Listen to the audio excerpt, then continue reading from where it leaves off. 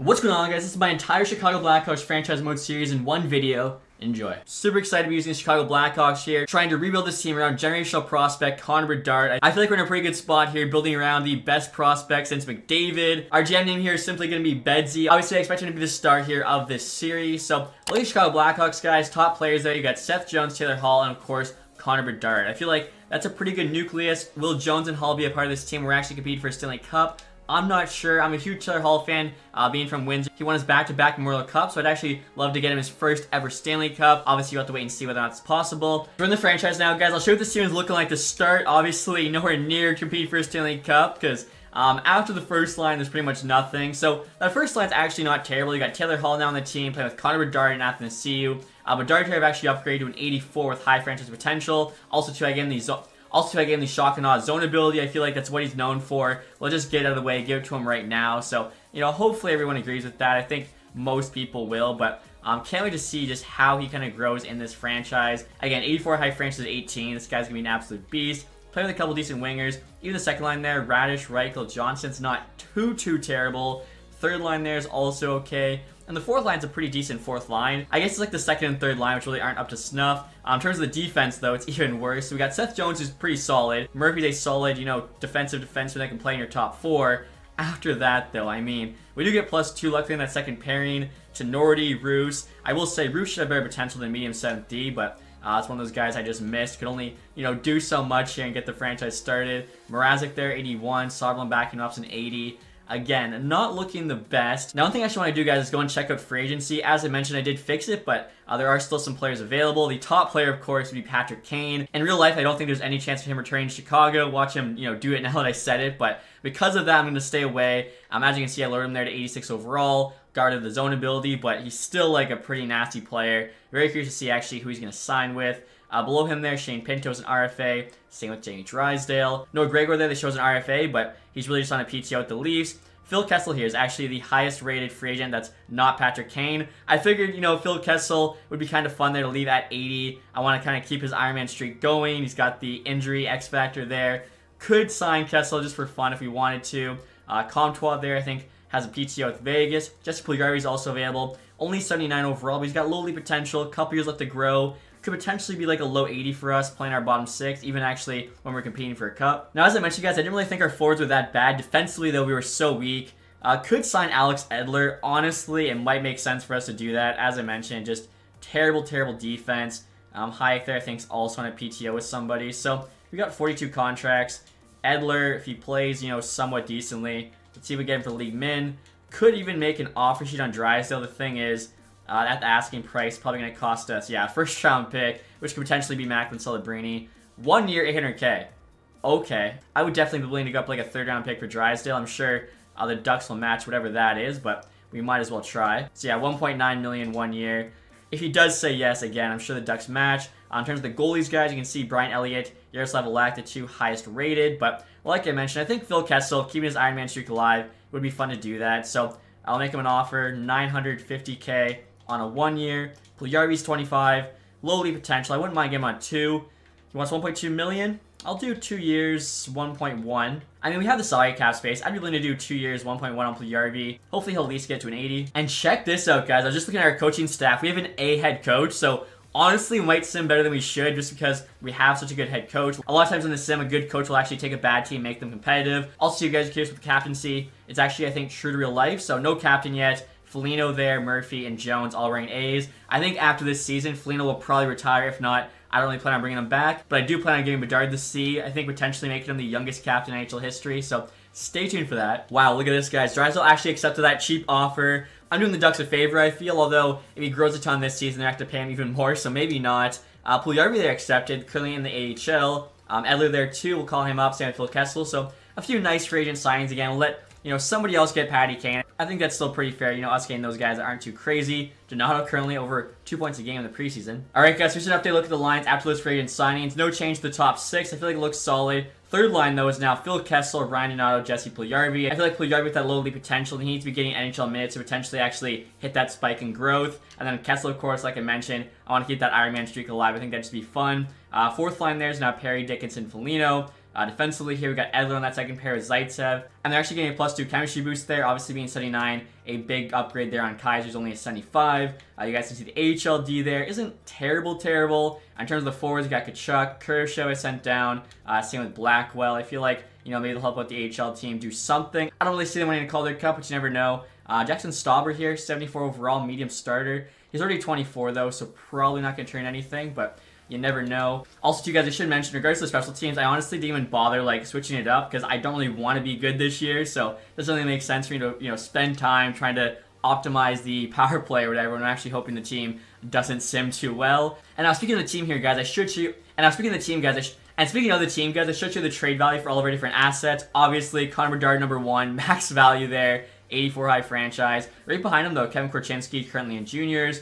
Jones, Hall, Murphy, Reichel, uh, Frank Nazar, Oliver Moore. I obviously showed you guys earlier. I added currently unsigned. I'll probably just leave them like that to let them just kind of play in you know whatever Euro league they're currently in. Obviously, I had to do that just to make sure we could have their rights without actually having a contract signed. Draft pick wise, our first round pick's probably gonna go up in rating even more. Have a Lightning first round pick. This, of course, coming from the Brandon Hagel trade. We got three seconds there, a couple thirds. Like, we're in a pretty good spot here. And right now, guys, through six preseason games, Ryan Huss actually our leading scorer with nine points. He's got seven goals, averaging over a goal per game. We're also 5-0-1, so we haven't even lost a game in regulation yet. Take a look at the ratings here to start the franchise series. So right there, you guys can see Connor Bedard is a Chicago Blackhawk, rocket number 98. We've got 87 offense, 86 defense, 80 goaltending. I'm excited to see what happens this year. Hopefully, Bedard can take home the Calder Trophy. And real quick, too, guys, before we start the sim, if you wouldn't mind leaving a thumbs up on this video, it really helps me out. Also, too, guys, I always get questions about how I set my scouts. No change from last year, so I make sure to have one in all the European countries, two in both Liiga and SHL, because there's just more players there. You can see Extra Liga, National League, DEL all get one.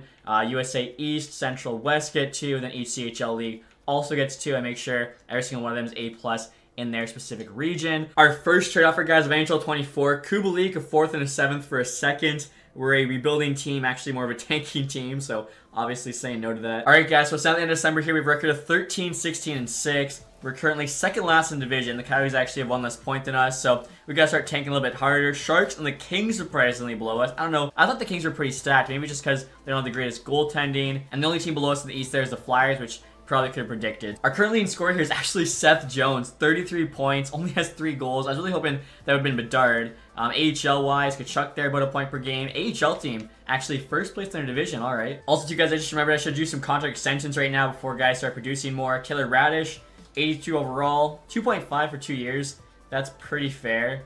Um, honestly, we could potentially get him for like 2.6 for the next five till he's 30. feel like that'd be a fine contract. Now below him, Lukas Reichel, I'm actually more concerned about. Currently an 80, but obviously uh, going to grow a lot more. 3 million there for two years. Four years, 3.6. I feel like, okay, gets up to about 5 million. Let's take him right till he's still an RFA, four years. That way we kind of have control. We'll offer I don't know, 3.3. Hopefully says yes. And again, even for like, you know, cap strapped, can at least get some picks back for him as we have his rights. Now, Ryder still accepted our offer, which is nice to see. Same with Reichel. All right, guys, with the trade deadline now with a record of 24, 30, and 9. We're currently second last in the NHL. The only team below us in the standings is actually the Sharks with 47 points. They're doing pretty terrible. Real life, I think they're going to be a pretty bad team as well. Uh, Seth Jones, still leading scorer, AHL-wise. It is Kurashev now, 44 points. AHL team there, secondary division. So we'll get to the trade deadline. Obviously looking to trade away some guys. Honestly, Phil Kessel I might keep because I want to make sure you know he keeps uh, that streak going as long as he can. Clearly, we're a full-on seller. Uh, we'll see kind of what's available here. Looking to add picks and prospects. Uh, if we could trade away, say, Foligno, Perry, Couture's on the block, which makes sense. Brodin and Spurgeon. Minnesota, remember, they don't sim well. Always have those guys on the block. Weegar, Lindholm, that's interesting. Jeremy Swayman, I mean, we don't really have a very good goalie prospect right now. Real life, they have Commesso, but I didn't have time to add everybody, so uh, we could make a move for him, honestly, goalie of the future. Patty Kane signed the Flyers. Interesting. Apparently, they're not doing too well if he's on the block with Couturier. Zuccarello there, Hanifin, and Duclair. Okay, so I'm kind of interested in Swayman here. I mean, at that point, we're really starting to compete already next season, I guess, with a good goalie. But honestly, our best chance when it comes probably year three when Bedard's grown a bunch and he's still on an entry-level deal. So this could make sense for us. And you know what, guys? I was just thinking, if we want to make this trade for Swayman, we should definitely wait till the summer. That way our team can continue to tank for the rest of the season. Otherwise, Swayman might actually win us a few games, which could hurt us in terms of our first overall pick chances. So gonna wait on this one, but definitely you know want to think about in the future. Now I'm actually trying to make a direct trade with Boston guys to get Fabian Lysell on the block. He usually is for them, but as you can see, 21.77. He's a solid player. Like he's got 48 points right now in the AHL, which is really good. Offering up Tyler Johnson, expiring deal give him a chance to play some playoff hockey there with the Bruins. Pretty equal value. I think it's actually been on their side, but Lysell's on the block. They want Johnson. I think they say yes. There we go. Trade's accepted. Solid move for us. I'll be shocked if this next trade goes through, guys. I'm trying to get Joel Hofer here from the St. Louis Blues. Obviously, he's a good young goalie. It doesn't really look like he's got enough value considering the fact he's got high starting potential. I mean, goalies obviously usually have less, but like that does not seem nearly enough. So uh, trying to flip the Mrazek here, who is higher rated, but obviously older. Retaining 50% of his contract for the rest of the season. Also adding a fifth round pick there we got from Calgary. See what the Blues say. The value is on our side. Trades accepted. Okay, I don't think uh, high starter goalies have enough value. The reason I actually went after Hofer was because I've seen Garnson's value there, which actually might be higher than Hofer's because he's younger. And I'm curious about Dustin Wolf. Okay, Dustin Wolf with medium elite does actually have a decent amount, but uh, yeah, high starter, I feel that's like the goalies to trade for for sure. Next year, guys, we're trying to make a trade the Wild, offering up Donato for a fourth round pick. He signed for one more year at two million bucks, 27. I feel like he's easily replaceable in free agency. Might as well try and get a mid round pick for him. They say yes. Also, too, does help us play a little bit worse, I think, for the last month and a half. Trade him away. So I feel like those are probably all the trades you're going to make, guys. Nick Foligno, Corey Perry, for instance, have like zero value, so can't really trade them. And then you got like Hall, Athanasiou. I'd actually like to keep for now. Reichel, of course, part of that future core. You guys can see here, two Bedard's now 88 overall. I was looking as well as our draft picks. I didn't realize we have two firsts 2025, ours and Toronto's. We also have three seconds 2026. Like this team's future is set up there in terms of the picks. Prospect wise, we definitely use a few extra players. Uh, Buffalo there, I guess Ty Smith from the Penguins, kind of funny. I did lower his rating like 75 or something. Uh, our trade with Donato, let's see. Uh, Montreal there, got a first round pick for two thirds and Wideman. That is a steal by Montreal, even if it's a late first. John Beecher there going to the LA Kings for David Riddick. Ryan Hartman there goes to Nashville. Let's see our trade for Hofer. Jake Walman goes to the Leafs. Red Wings got a first round pick for him, not bad. Marcus Johansson, the Vegas Golden Knights for Brisson and Korczak. Good work by Minnesota. Gostisbehere there goes to Edmonton for a first and a second. They also get Olli Maatta, but still a pretty good uh, trade by Yzerman. Fleecing Holland. Let's see, Foodie there to Coyotes. Uh, Pittsburgh gets Sean Monahan. Montreal gets Lars Eller. Roslovic there to Boston for Jeremy Swayman. Interesting. Columbus gets their goalie of the future. Not a bad move. Tampa Bay gets Tyson Barrie for Nick Paul, a third and a sixth. That is a steal, I think. Patty Kane on the move to the Winnipeg Jets with Scott Laughton. And the Flyers get back a first, Knyzhov, and Johansson. I mean, I don't know. The other team traded two thirds and a random for a first round pick. The Jets give up first and two okay prospects for Patty Kane and Scott Laughton. That's nuts. I mean, Varlamov there got moved to LA Kings with Tristan Lennox for Arvidsson and Trevor Lewis. Some pretty big trades getting made. Marc-Andre Fleury, to the Buffalo Sabres, Matt Dumba, and Travis Dermott to the Devils with Ryan Zingle. Uh, Coyotes got back a first. Duclair there to the Preds. In exchange for Ryan McDonagh, one for one. Interesting. So I guess Nashville wanted offense. Obviously, the Sharks are not competing, so I'm not really sure why they made the trade, but they probably could use the defense, honestly. So after those moves at the trade deadline, guys, here's an update look at the team. Bedard, as I mentioned, now 88 overall. He's also actually grown a couple X factors. In my franchise mode features video, I mentioned how it's a thing now. As you can see, he actually gained Spinorama and Born Leader, so a couple I honestly didn't expect him to get. Spinorama was kind of cool, though. It's pretty unique. Born Leader as well, I think, goes with him getting the C at the start of next season. It's like they almost knew. I also just realized I forgot to bump up his face-off stat. I feel like he should have at least an 80 because he's actually been doing pretty well for a rookie in the face-off circle. Um, behind them, Kessel, Reichel, Raddysh isn't that bad. Even the bomb six, I think, is decent. Defensively, actually, there is no change. Of course, goalie, um, hopefully they're backing up Soderblom. And then the AHL, I think the only change is Lysell on that first line. So hopefully AHL team uh, continues to do well, even though we did, you know, call it Blackwell. And obviously, more importantly, hopefully the NHL team can start to lose some more games. And now this is great, guys. After the trade deadline, the team has started to start playing better. We're actually 500 now with one game left. Let's see. We finished below or above. We finished below 500. 81 points there. So if we would have actually lost a bunch of games, would have had a better shot at picking, you know, top five. I don't know why. The team actually started to play better after we trade away guys. AHL team here, 41, 21, 7, first place in the division. That is good to see. Hopefully they can make a run here at the Calder Cup. Uh, Tkachuk there, 59, 69. Not bad at all. In the NHL, Seth Jones actually finished our leading scorer with 68 points. Curious to see what kind of numbers Bedard put up. So he had 66. I feel like that's pretty solid. I'm pretty sure his over-under this year is literally like 65. So he's sitting pretty close to real life. 274 shots. He was just taking shots from everywhere. Taylor Raddysh had a 50-point season with 54. Anthony C, exact same number. Lukas Reichel also 50-point season. Same with Kessel and Hall. So I mean, the fact we had seven guys on this team put up 50 plus points is actually a pretty promising sign. Nick Foligno there at 30, same with Perry. Obviously, probably not going to bring them back, but that's actually not even that bad production from a fourth line player. Goaltending here, Soderblom, 40 games played, 916, 285 with four shutouts. He might be the reason why we didn't finish low in the standing. Now, AHL team here, Stauber, six shutouts, a 9-1, 262. Tkachuk there at 59. Same with Lysell. He did get to play an extra four games due to the trade that happened. And now taking a look at the entire league here, guys. Johnny Gaudreau put up 110 points. Matthews 109. Scheifele 106. McDavid 104. Marner 101. Kyle Connor was also at 100. Panarin. Patty Kane at 95 even as an 86, he's still an absolute god in the sim. No zone ability either. I've also like decreased all of his stats. That is crazy to see. Ovechkin there, 94. Looks like Matthews though. Actually, no, McDavid. Sorry, taking home Maurice Richard. In terms of defensive scoring here, guys, Josh Morrissey actually finishing first. McAvoy there, Carlson. Most of these names all make sense. And in terms of goaltenders, Elias Samsonov had the most wins, 43. And now best save percentage for a starter goes to Bobrovsky, 916. Goals against here, Georgiev, 265. Probably one of those two guys wins the Vezina. In terms of rookie skaters, come on, Bedard. Carlsson, 67. I mean, Bedard at a plus four. If it's like last year, they really care about that plus minus. Bedard one less points with a plus five better differential. I think he'll take on the Calder, but that's very close. Leo Carlsson, are you kidding me? 80 overall. He popped off with the Ducks.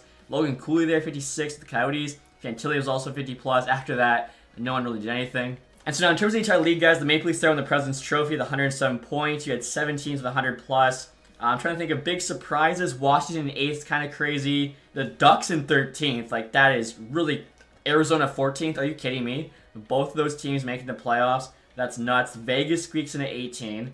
Um, all these teams that missed, none of them I'd say are playoff locks. Probably the biggest ones, the LA Kings. How did they do that bad? 78 points. Like we actually finished 24th in the league there, 81. You can see, guys, like if we just lost two more games, we're literally tied for like a bottom five team with the Flyers. That's just terrible to see, but you never know. Maybe we'll get lucky with the draft lottery. I really doubt it, though. But first here, guys, we actually had to sim through the AHL playoffs. Fabian Lysell is our leading scorer now. They actually had a couple games left, so we'll see how this goes. Obviously, AHL, I'm not you know too concerned with if they win or lose, but a Calder Cup in our first year would be a nice little feather in our cap. We'll see what happens here. Win the first game and the second. Come on, there we go. So beat uh, Milwaukee there in three. They actually have it as a five-game series now in round one because I think uh, that was an issue last year. We got the Grand Rapids Griffins round two. It's also a five-game series. I think that's true to life. Unfortunately, we actually lose all three games to the Griffins, but still, round two of the HL playoffs. I'll take that in the first season. And this is kind of crazy, guys. After losing both Bergeron and Krejci to retirement, the Boston Bruins win the Stanley Cup. Are you kidding me? They lost Tyler Bertuzzi and Taylor Hall as well. That's crazy. I mean, I feel bad for Taylor Hall getting traded from the Stanley Cup winning team to us. Are you kidding me as well? Nashville jumps from 10 to 1. Are you kidding me? We were 9. If we actually like were slightly better, we would have got first overall. Uh, that just hurts even more. Philly there actually jumps from 3 to 2, so the Sharks are picking at 3. Nashville gets back until Celebrini. And Philly there is actually picking at 2 and 6 via the Florida pick. I think they got that from the Claude Giroux trade. Luckily at 10, we should still be getting a medium elite player, but Obviously, I'd prefer to have a top five pick. And so look at the playoff tree here, guys. The Boston Bruins beat the Lightning in six, Hurricanes in five, Penguins in five, and then the Oilers there in five. That's actually kind of funny. I, I predicted Oilers versus Bruins in the Cup final last year, so to see it happen first year in the sim, I mean, not terrible, I guess. Um, team awards there, I think we know all of those. Individual, Johnny Gaudreau, Art Ross. Scheifele, though, gets the Hearts. Josh Morrissey, James Norris, Patty Kane, Lady Byng with the Jets. There we go. Connor Bedard did win the Calder. Uh, Brad Marchand, Conn Smythe. I'm sure he had to pop off of that team. Yorgi got the Vezina, also got the William Jennings, uh, Savard, Bill Masterton, Ducks coach Jack Adams, Crosby got the Selke, interesting. Scheifele, Ted Lindsay, and then McDavid there, Mitch Shard, back-to-back years. Now, the AHL guys, the Bakersfield Condors won the Calder Cup. We did win something, though. We won our division, as you can see there. So, again, that's something uh, for us. Adam Gaudette there, most points in the league, also MVP. McCarron, most goals. Bulldog, best rookie. Poirier, best defenseman. Silovs, best goalie. Ernie, MVP of the playoffs. Staal actually signed with Seattle, was playing their AHL team. He got sportsmanship. Kevin being involvement, and then Aaron Dell there was the best goalie. And now next year, you to take a look at retired players. Probably no one crazy. Yeah, Eric Staal, Simmons was in free agency for Leak and Jack Johnson, Bellemare, really not too much. And so we'll get to the draft now, guys. We'll see if they fix the issue where if a team like Nashville jumps from 10 to 1, they always have their pick on the block. Hopefully it's fixed. And it is fixed. Okay, their pick's not on the block. That is good to see. So take a look at the draft class here. It should be like pretty authentic to what, you know, people are predicting right now. So Celebrini 1, Eiserman 2, Demidov 3, Levshunov 4. You got there at 5. Uh, Silayev 6, Kiviharju at 7, Dickinson 8, Helenius 9, Mews 10. I mean, I feel like that's pretty good. Adams there, I believe, is made up. Tanner House at 11. Parekh there. Emil Hemming, Masse, Liam Greentree. I feel like Cristoforo, Senek. This looks like a pretty authentic draft class. I'm actually pretty happy with how they turned out. So right now we'd be getting Henry Mews. Honestly, I think we need forwards and defense. We're just taking best player available. And we could move up a little bit. I think that'd be cool. Like, Silayev here's a 6'7 defenseman. He'd be fun to have on the team. Or Levshunov, just like an absolute beast. And I just realized, guys, Flyers are going to be walking away from this draft with, like, potentially Cole Eiserman and Levshunov. Like, that's insane. And now in terms of gems here, guys, I got Justin Poirier going early second round. I know he's medium top six, so doesn't really help us too much. Uh, potential wise, it looks to be getting guaranteed medium leads going late. And now next year, guys, I'm trying to move up in the draft two spots from 10 to 8 with the Islanders. Their picks on the block. They've also got Maggio on the block here, too. Uh, if you guys don't know, he was captain of the Windsor Spitfires last year, which is my favorite OHL team. I've actually got season tickets with Thrash, so if we could get him, it'd be pretty sweet. Um, I mean, two third round picks here. I feel like the one third is probably more than enough to move up the two spots. Then we add the second third there to sweeten the deal to get Maggio. They got the pick and Maggio on the block. We'll see if they say yes to this trade. Trade's rejected. Okay, quite far off. Honestly, we have so many second round picks. Could throw in like our worst one within our worst third. I feel like this would still be a good trade for us. Trade's rejected. Now they said we're only a bit far off, so I'm thinking throwing like a seventh round pick 2025 as well. And there we go. Okay, so we move up in the draft and we get a solid prospect. As you guys can see, Celebrini there went first overall, 80 high elite. Eiserman number two, 78 medium elite. I'm just kind of curious there. Eiserman actually grew a bunch of X factors during the draft because I think it only gave him make it snappy and puck on a string. As you guys can see, you got a few others. Celebrini here. I'm pretty sure I gave all Alone and Ankle Breaker 2. I guess we didn't scout him, so we can't see it. But at this point, guys, I'm honestly pretty happy with whoever we get at 8, so I'm just going to sim to our pick. Kiviharju just got taken one before us. That's unlucky. Uh, Silayev there at 6. So Flyers get him and Eiserman, not bad. Uh, Levshunov actually went 3 above Berkley Catton at 4, and Demidov at 5. Demidov would have been kind of nasty, but honestly, with Bedard, I think I'd rather have a playmaker. Now, at this spot, looking at defenseman, probably, I guess, Helenius is an option. Um, Evgeny Malkin, similar style, interesting. NHL ETA there, two years. It's either him, and Dickinson, or Henry Mews. All three of these guys are immediately potential. I'm not really sure. Which way do we go here, guys? Now, I did just say I wanted a playmaker for Bedard. Helenius is a playmaker. I feel like we got to go with him. I don't think I ever took him last year, so trying something new. As you can see, 70 overall, medium out of the draft. Any X factors? None yet, but Obviously, you can grow some. And now next year, guys, I'm actually trying to move up six spots at the end of the first round to Vegas Golden Knights, offering up one of three fourth round picks we have in 2025. Vegas said no. Wow, I thought that was like a very fair offer. Um, honestly, like this draft didn't have a ton of depth in it after the first few rounds, so could just give them a third this year. Vegas says yes. Okay, so that was a good deal. I'll show you guys why. There's somebody I was eyeing. Hopefully, can get them. Uh, so Massey was just taken. I was actually looking at taking Windsor Spitfire, who is available. Anthony Cristoforo here. So we're getting a couple Spitfires in Maggio and him, which is kind of cool. And as you can see there, 65 medium top four. Also, two guys after Helenius got picked, you can see Dickinson there at 971 medium elite. I didn't know he was one overall higher, but still with Helenius there. Mews at 10. This Adams guy I was right, was made up. 77 medium elite defenseman, 6'5. Could have taken him, but honestly, it's fine. And now I'm saving to pick 36 here, guys. There's a chance I was going to say Justin Poirier is available. Unfortunately, he was just taken two picks early. That would have been such a good first three picks in this draft. At this point, I'm not even sure. Actually, Yakemchuk, I believe, is a medium top four. So if we want to just take him, um, add another solid defensive prospect, I feel like that makes sense, especially um, early second round. That's good value. Yeah, 63 medium top four. Not bad at all. And now next year, guys, I'm trading back 30 spots with Vegas Golden Knights, trying to pick up a sixth round pick. Really just know what I want at this spot, so might as well try to acquire some asset. Vegas there says yes. Hopefully that's six. We can just take a you know wild shot and hit on somebody. Now, uh, pick 73 here, who I was looking at actually is this American goalie. There's a chance he's medium elite. And actually, guys, look at this. Vinny's available. He's actually the number one ranked player right now. maybe it was meant to be. I don't even know what his potential is. I totally forgot to like check his out. We're gonna find out here. And medium fringe starter. Oh my god, I gotta go upgrade that. That's a joke. So next year, guys, I'm offering the Vegas Golden Knights a third round pick next year for their third this year, plus a seventh. Basically, to try and get that American goalie. Honestly, I would just do it one for one. There you go. I'm really thinking that this goalie I was eyeing is gonna be medium elite. I could be wrong. It could end up not being worth it, but I just got a feeling. So it's Eddie there. Hopefully, he's at least like a medium starter. And he is medium elite. Let's go. I had a feeling. Only 49 overall, but still, we take that in the third round. That's a steal. Also, too, guys, regards to the first round, not sure if I showed you guys the rest of it. After Adams there, you got Parekh, Howe, Greentree, Hemming, Masick, Cristoforo, Sinek, Gormley, Chromiak, Korolev, Caswell, Ritchie, Bransteg, Nygaard, Jarechek, Ollie, Perry, Semenov, Misa, Bykov, Vasanin, and Hennessy, which I feel like at this point is a pretty accurate first round draft. Now in the sixth round, guys, we're just taking a chance on a couple guys. I'm to go with Yuri Zykov here. Could be medium lead as well. Medium bottom six. I mean, sometimes you hit, sometimes you don't. Uh, last pick here, we're to take a chance on that other guy who could be medium elite, and that's uh, Vorobyev. Come on. And medium bottom six as well. I mean, honestly, I'm still pretty happy with this draft. The fact we got a medium elite forward, two medium top four defensemen, and then a medium elite goalie, like, cannot complain. All right, guys, we're at the resign phase here. It's $42.5 million in cap space. That's unreal. Seth Jones is now a 90. He's also gained a few X factors. Very cool to see. After season 86. Uh, Taylor Raddysh is 85. Sam Lukas Reichel. Glad to see we got both those guys. Very good contracts.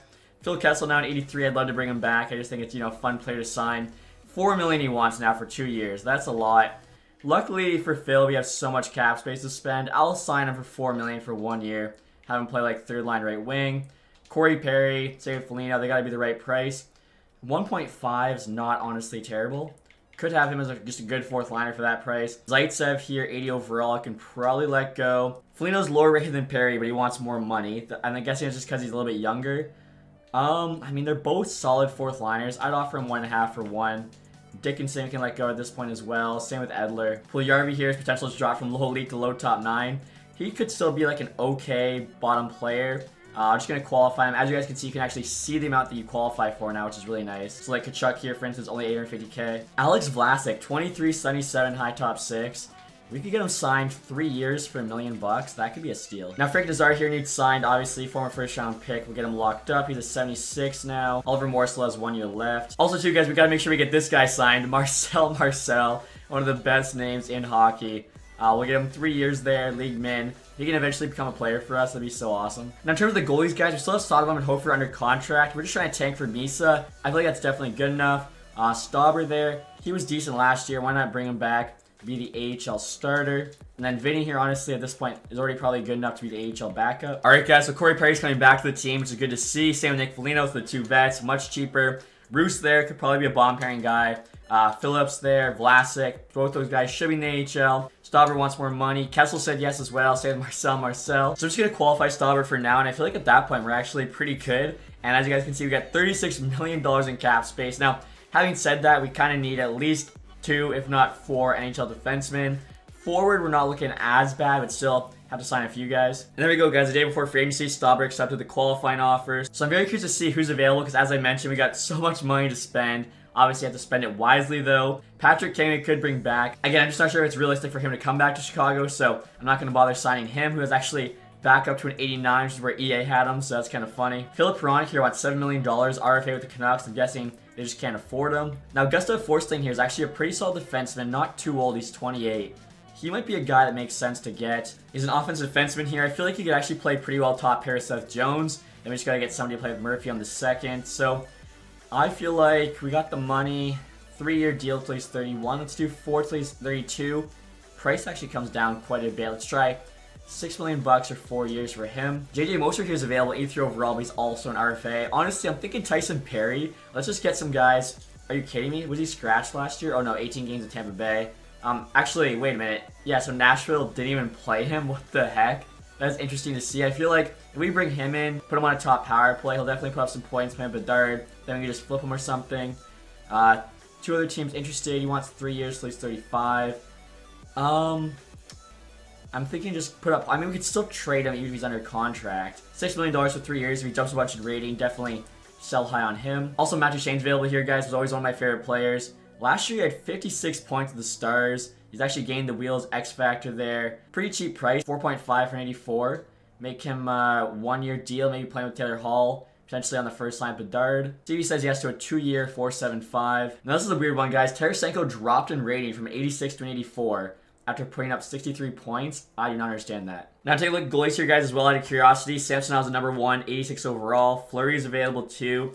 Again, I don't really see us competing for a cup this year, so might as well try and get another high draft pick before going for it in Bedard's final year on his ELC. And now in terms of potential here, nothing too crazy like Andu in there, 2478, Rodriguez, this Quap guy, 2161 medium starter. Honestly, he might be worth signing. I think we have the goalie spot, so might as well, yeah. Also, Max Domi here, guys. I know he enjoyed his time in Chicago. Maybe we could bring him back. He only wants one year, or actually, sorry, he wants three years, three million. Oh man, I really don't like these three-year deals. I would do probably a one-year because we got Nazar coming up, we got more coming up. I would offer more money though because we have so much right now. I'd do four million for one year. I feel like he'd say yes. And look at this, guys. I'm checking two-way skaters. Jack Drury's available. 24.78 medium top nine. Great face-offs. I don't know why Carolina didn't sign him.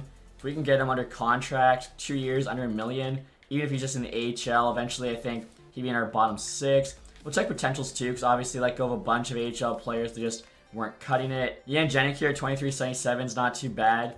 We can get him for three years, under a million as well. Same goes for Raphael Lavoie, who's on the Oilers. Not sure why. I mean, obviously these guys aren't amazing players. They're guys you could definitely see, you know, going through waivers. But I'm sure there's worse players they are signing. Iskhakov here has some nasty hands, so I'll sign him for that reason. All right, guys, so like goalie Quap accepted our offer. Again, he'll just be like third string AHL, but has decent potential. And Matthew Shane said yes, that's big. Uh, Tyson Barrie appreciates the interest. He went to Montreal Canadiens. Honestly, they could use a player like him. Their defense pretty rough. Uh, Max Domi coming back to Chicago. Jenik there went to Pittsburgh Penguins. So kind of cool to see like not everyone made offers on saying yes. Jack Drury though did. Forsling with the Ducks. I thought I made both him and Barrie pretty fair offers, but maybe it's because we're not a great team. Lavoie said yes. Iskhakov as well. Now we still have $29 million in cap space. I think the cap floor minimum's like 20 million below the max, so uh, we gotta spend $9 million still. Could go and get Blake Wheeler. I don't know if that makes sense, though. Uh, Giordano could add a veteran to this team, 40 years old. Kind of like Foligno Perry, same idea. We need defensemen. Like, we need bodies. One year. I'll give him 5 million bucks. Come in. Play for us. Maybe we trade with the deadline, 50%. Also, gonna make an offer on Schultz here, guys. As I mentioned, we need somebody to, like, quarterback that second power play. Seth Jones can do the first one. I'm assuming, too, like, Korchinski won't be high enough rated. Uh, one year, 5 million bucks. Hopefully that gets it done. Could still sign a couple more defensemen as well. Uh, otherwise, we think we'd have like two 77s. I feel like Shattenkirk and Ian Cole for their price are pretty good options, both 82s. Again, if we're playing well, then like cool, but if not, uh, should be pretty easy to trade these guys. We're gonna offer them each 2.5, and only for one year, of course. Montreal just offered us Matheson in a third for two seconds. Definitely not gonna give up picks for him, that's for sure. LA here offering us Gavrikov in a fourth for two seconds. Everybody knows we need defense, but there's still some guys available for agency, and we just signed one, Kevin Shattenkirk, Giordano, that's even bigger, Ian Cole, and Justin Schultz. Okay, so we actually have six NHL defensemen now, which is nice to see. This is kind of funny, guys. The Flyers are trying to dump $11 million on us for two second round picks and Pesce and Ristolainen. Pesce's actually worth the six and a half. Ristolainen, though, definitely isn't. And so we're now to start next season, guys. Usually I skip over this screen, but immediately I'm citing our captains. That way I can have the youngest captain ever in Connor Bedard. They got Nick Foligno wearing the C. Yeah, nope. Connor Bedard, youngest captain in NHL history.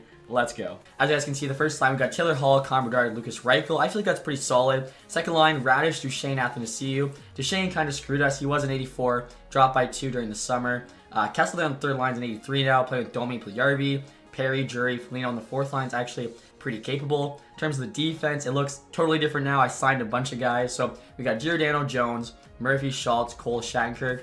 Obviously, Murphy, Jones, the guys we kept. The rest all signed in for agency last summer. In terms of the goaltending here, we got Hofer starting with Soderblom backing him up. So I think that's okay goaltending. Again, we're not really trying to do good necessarily. So uh, if our goalies aren't that great, it's okay. First power play there you can see. Bedard of course, going to be the finisher. To try and have him put up 100 points maybe this year. He's 90 overall already at 19 years old. Kind of crazy. He's also the youngest captain in NHL history, as I'll show you guys the captaincy a little bit later. No chemistry boost on that one. We actually get a minus on the power play too. So the coaching here isn't looking the best.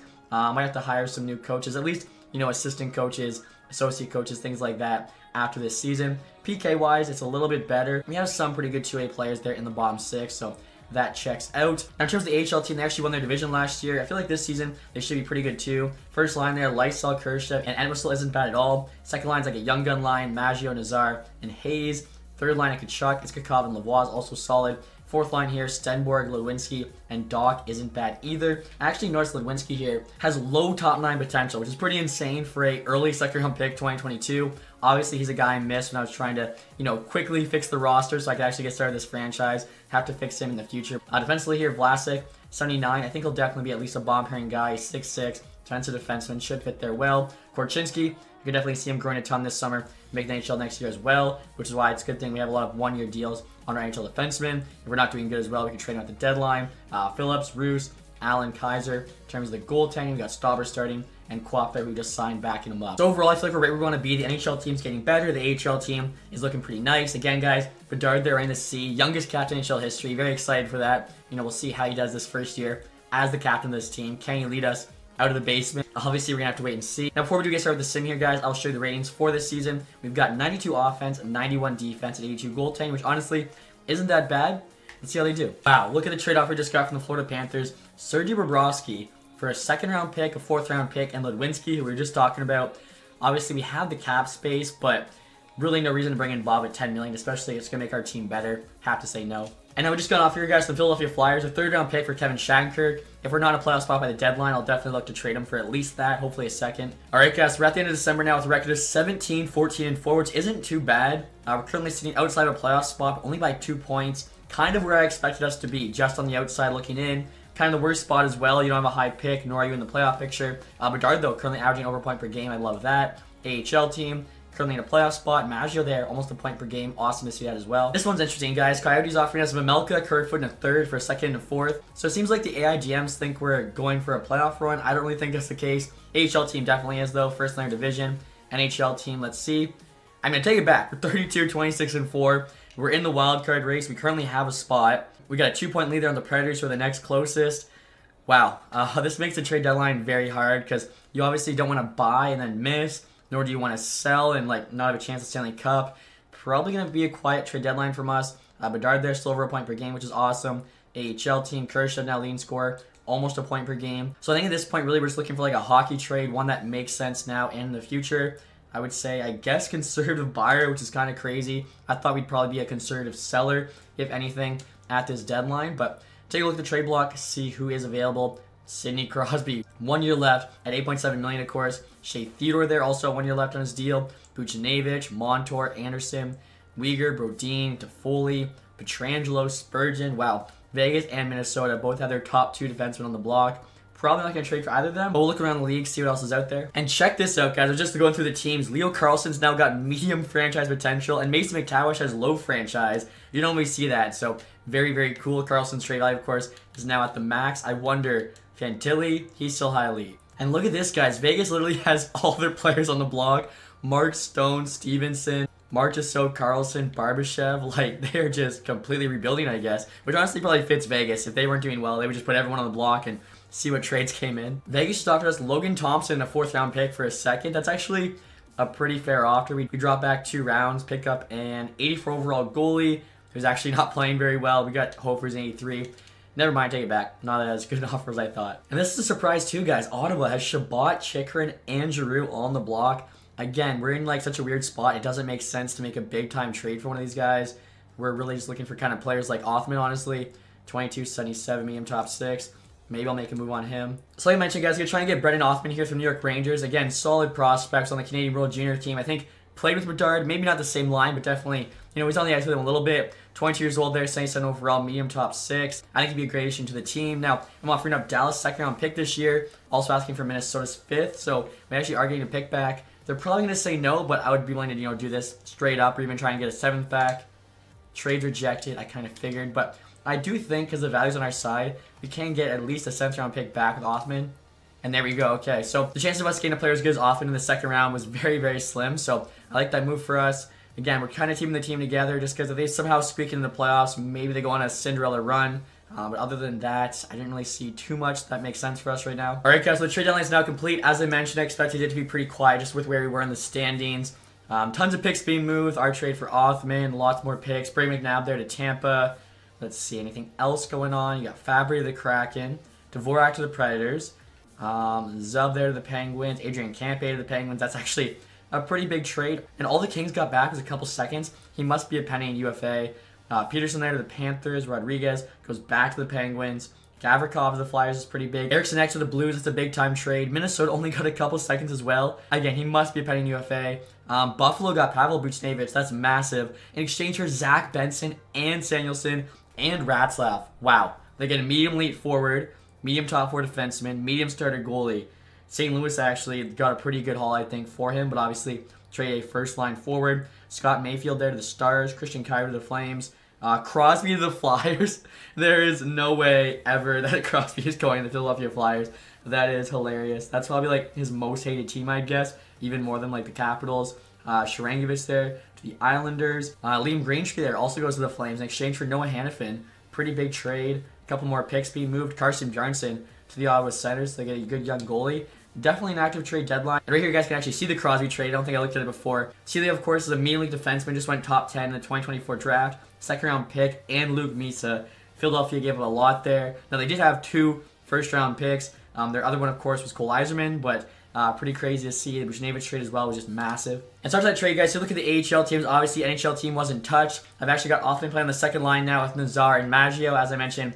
That was our young gun line. So Hazer got dropped to the third line. And actually, speaking of the lines, though, guys, there is one thing I forgot to mention beginning of the episode. I don't think I'm ever going to break up Taylor Hall and Connor Bedard, as I don't know if you guys saw the goal highlight from last night, but the celebration here after Taylor Hall scores the Bedard skating back into him. I thought it was so funny. Like, I don't know what's going on between those two guys, but they seem to really like each other. So, cannot break them up for the rest of this franchise. We're hold on to Hall until he retires. This is hilarious, guys. Literally a day after trading away Sidney Crosby, the Pittsburgh Penguins then fire their head coach. So, the Pittsburgh Penguins are completely rebuilding, I guess. Kyle Dubas is tearing it down after one year with Crosby, Malkin, Karlsson. That's insane. The Devils also fire their head coach. I feel like the Devils are in such a good spot right now. For them to be firing their head coach a year from like today in real life would be crazy. All right, guys, we're not the season here with a record of 43, 32, and 7, which honestly surprised me a ton. I did not think the team was going to play this well, and we're super streaky too. Like after the deadline, we actually won seven straight games. We then followed that up by losing five straight games. We followed that up with three wins, and then we lost four straight before winning the last game of the year. Super streaky team.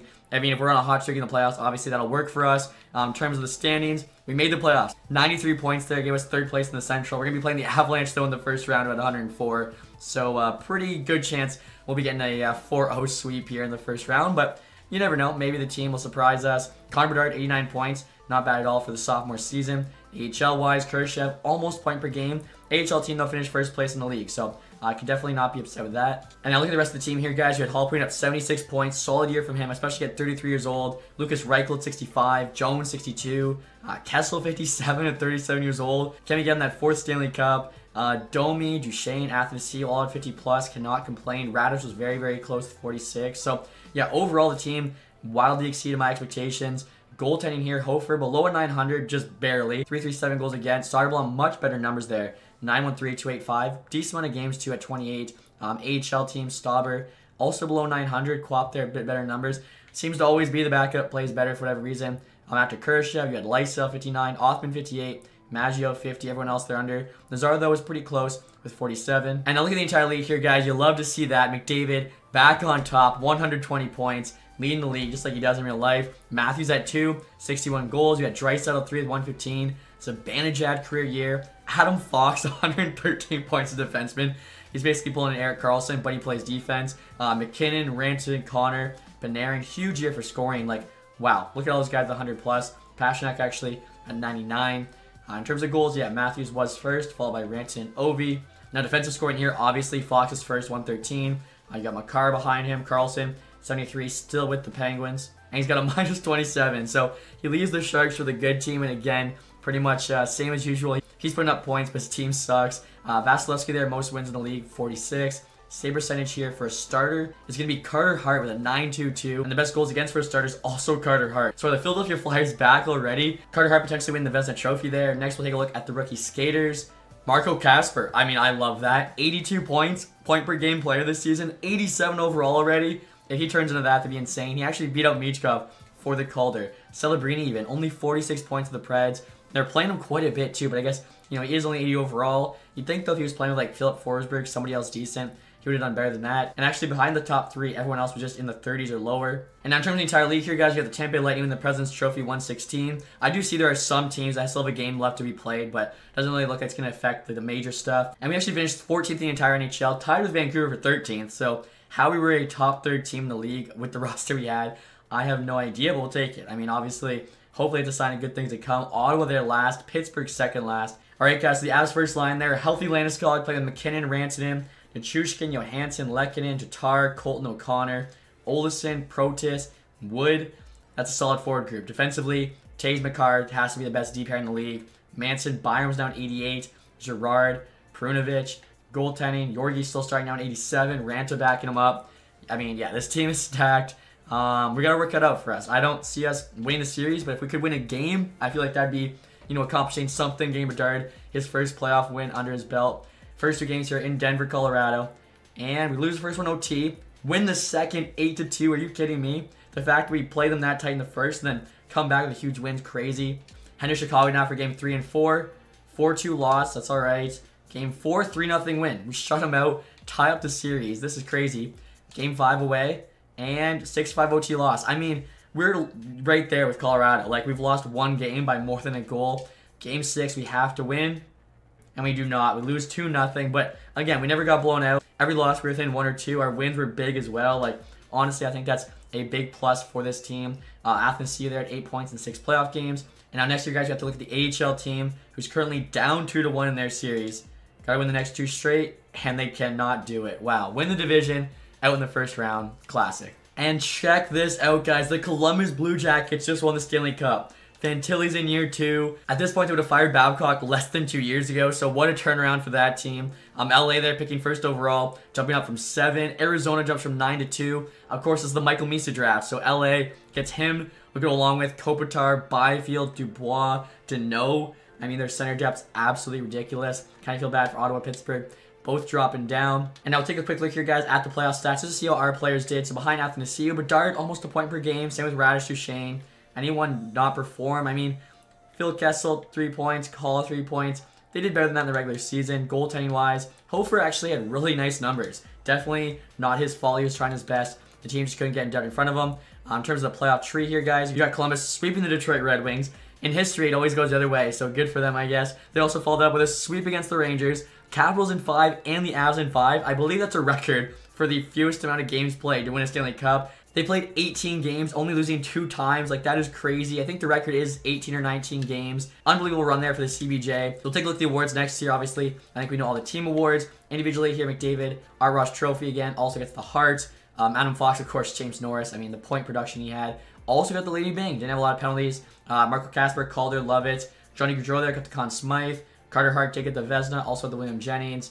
Parayko, Bill Masterton. Capitals coach Jack Adams, kind of interesting choice, honestly. Couturier, Selke, uh, McDavid, Ted Lindsay, and then of course Matthews there with the Maurice Richard. And terms of the HL guys, the Lehigh Valley Phantoms with the Calder Cup. Again, we won our division for the second straight year. I don't know why your platoon can't perform though in the playoffs. Individually, Ob most points, also at MVP. Uh, Suter there, most goals. Stenberg, best rookie. Simashev, best defenseman. Very cool. Tarasov, best goalie. Desnoyers, MVP of the playoffs. Suter also got sportsmanship. Gleason there, community involvement, and then Tarasov, lowest goals against. And before we get to the draft, guys, I realized I totally forgot to check contract extensions, probably because I wasn't too worried about, you know, the cap. We were so far under it. Are you kidding me? Connor Bedard's now 96 overall, and he still has one more year's entry level contract. That's why I said in the first episode, our third year was our best chance to win the cup, as having a 96 overall player making less than a million bucks is essentially a cheat code. Um, Jones there dropped a rating by one. Reichel's actually up a couple. Uh, Domi, what's he gonna ask for? 8.4. I mean, he is an 87 now. Athanasiou wants 6'5". Taylor Hall, I said I'm bringing back no matter what. And he actually wants a very fair contract, probably because he's a bit older there at 33. He wants three years.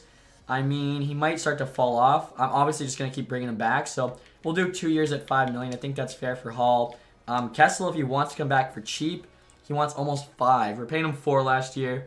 I wouldn't mind, you know, keeping the Iron Man streak going, though. Mark Giordano, Justin Schultz, Ian Cole. I mean, we'll take a look at all these vets probably later. I don't really see us saving too much money on them right now. Joel Hofer, though, now in 84. Could potentially save a little bit of money on. One year, 4-5. Okay. I definitely like the two years there. Keep him at an RFA. Team will take four and a half. And then to be our backup, Soderblom wants 375. I mean, I'll keep one of our current players to offer him a bit of money. And now look at retired players here, guys. Ryan Suter calls it quits. Same with Derek Stepan, Trevor Lewis, Derek Ryan. Really no one too crazy other than that. I think I saw Matt Martin there. In terms of the goalies, Brian Elliott, Jonas Enroth. And so we're now at the draft here, guys. Kings picking first overall. That pick is not on the block. Hopefully our scouts found some steals. Oh, wow. You actually have this made-up guy, Colby Chiodo.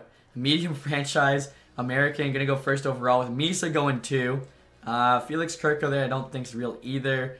Adam Banak is. Same with Roger McQueen, Jordan Gavin, Matthew Schaefer. But all, a bunch of those guys at the top um, definitely were not. Now, take a look at the gems. Guaranteed low elite, that's going to go like 7th round. That's actually crazy value. Even this guy is going to go in the 3rd round. Could be decent. And look at this, guys. I sorted by potential. Gary Saad, guaranteed medium elite goalie. Going to be a early 3rd round pick. That is insane. And Gabriel Daigle here, I know is a medium elite goalie. He'll be a late first round pick. We actually have two first, so could take him as well. Uh, Reese Hamilton here, I don't think is medium elite. I feel like he's probably medium top four. Um, so I'm not going to worry too much about that. And Keegan Voros here, guaranteed medium top four defenseman, early second round pick. That's pretty good value. And now next year, guys, we're trying to trade the Devils to get their ninth overall pick, which is actually on the block, offering up number 19. So we're trying to jump up 10 spots here. Also offering signing rights to Max Domi.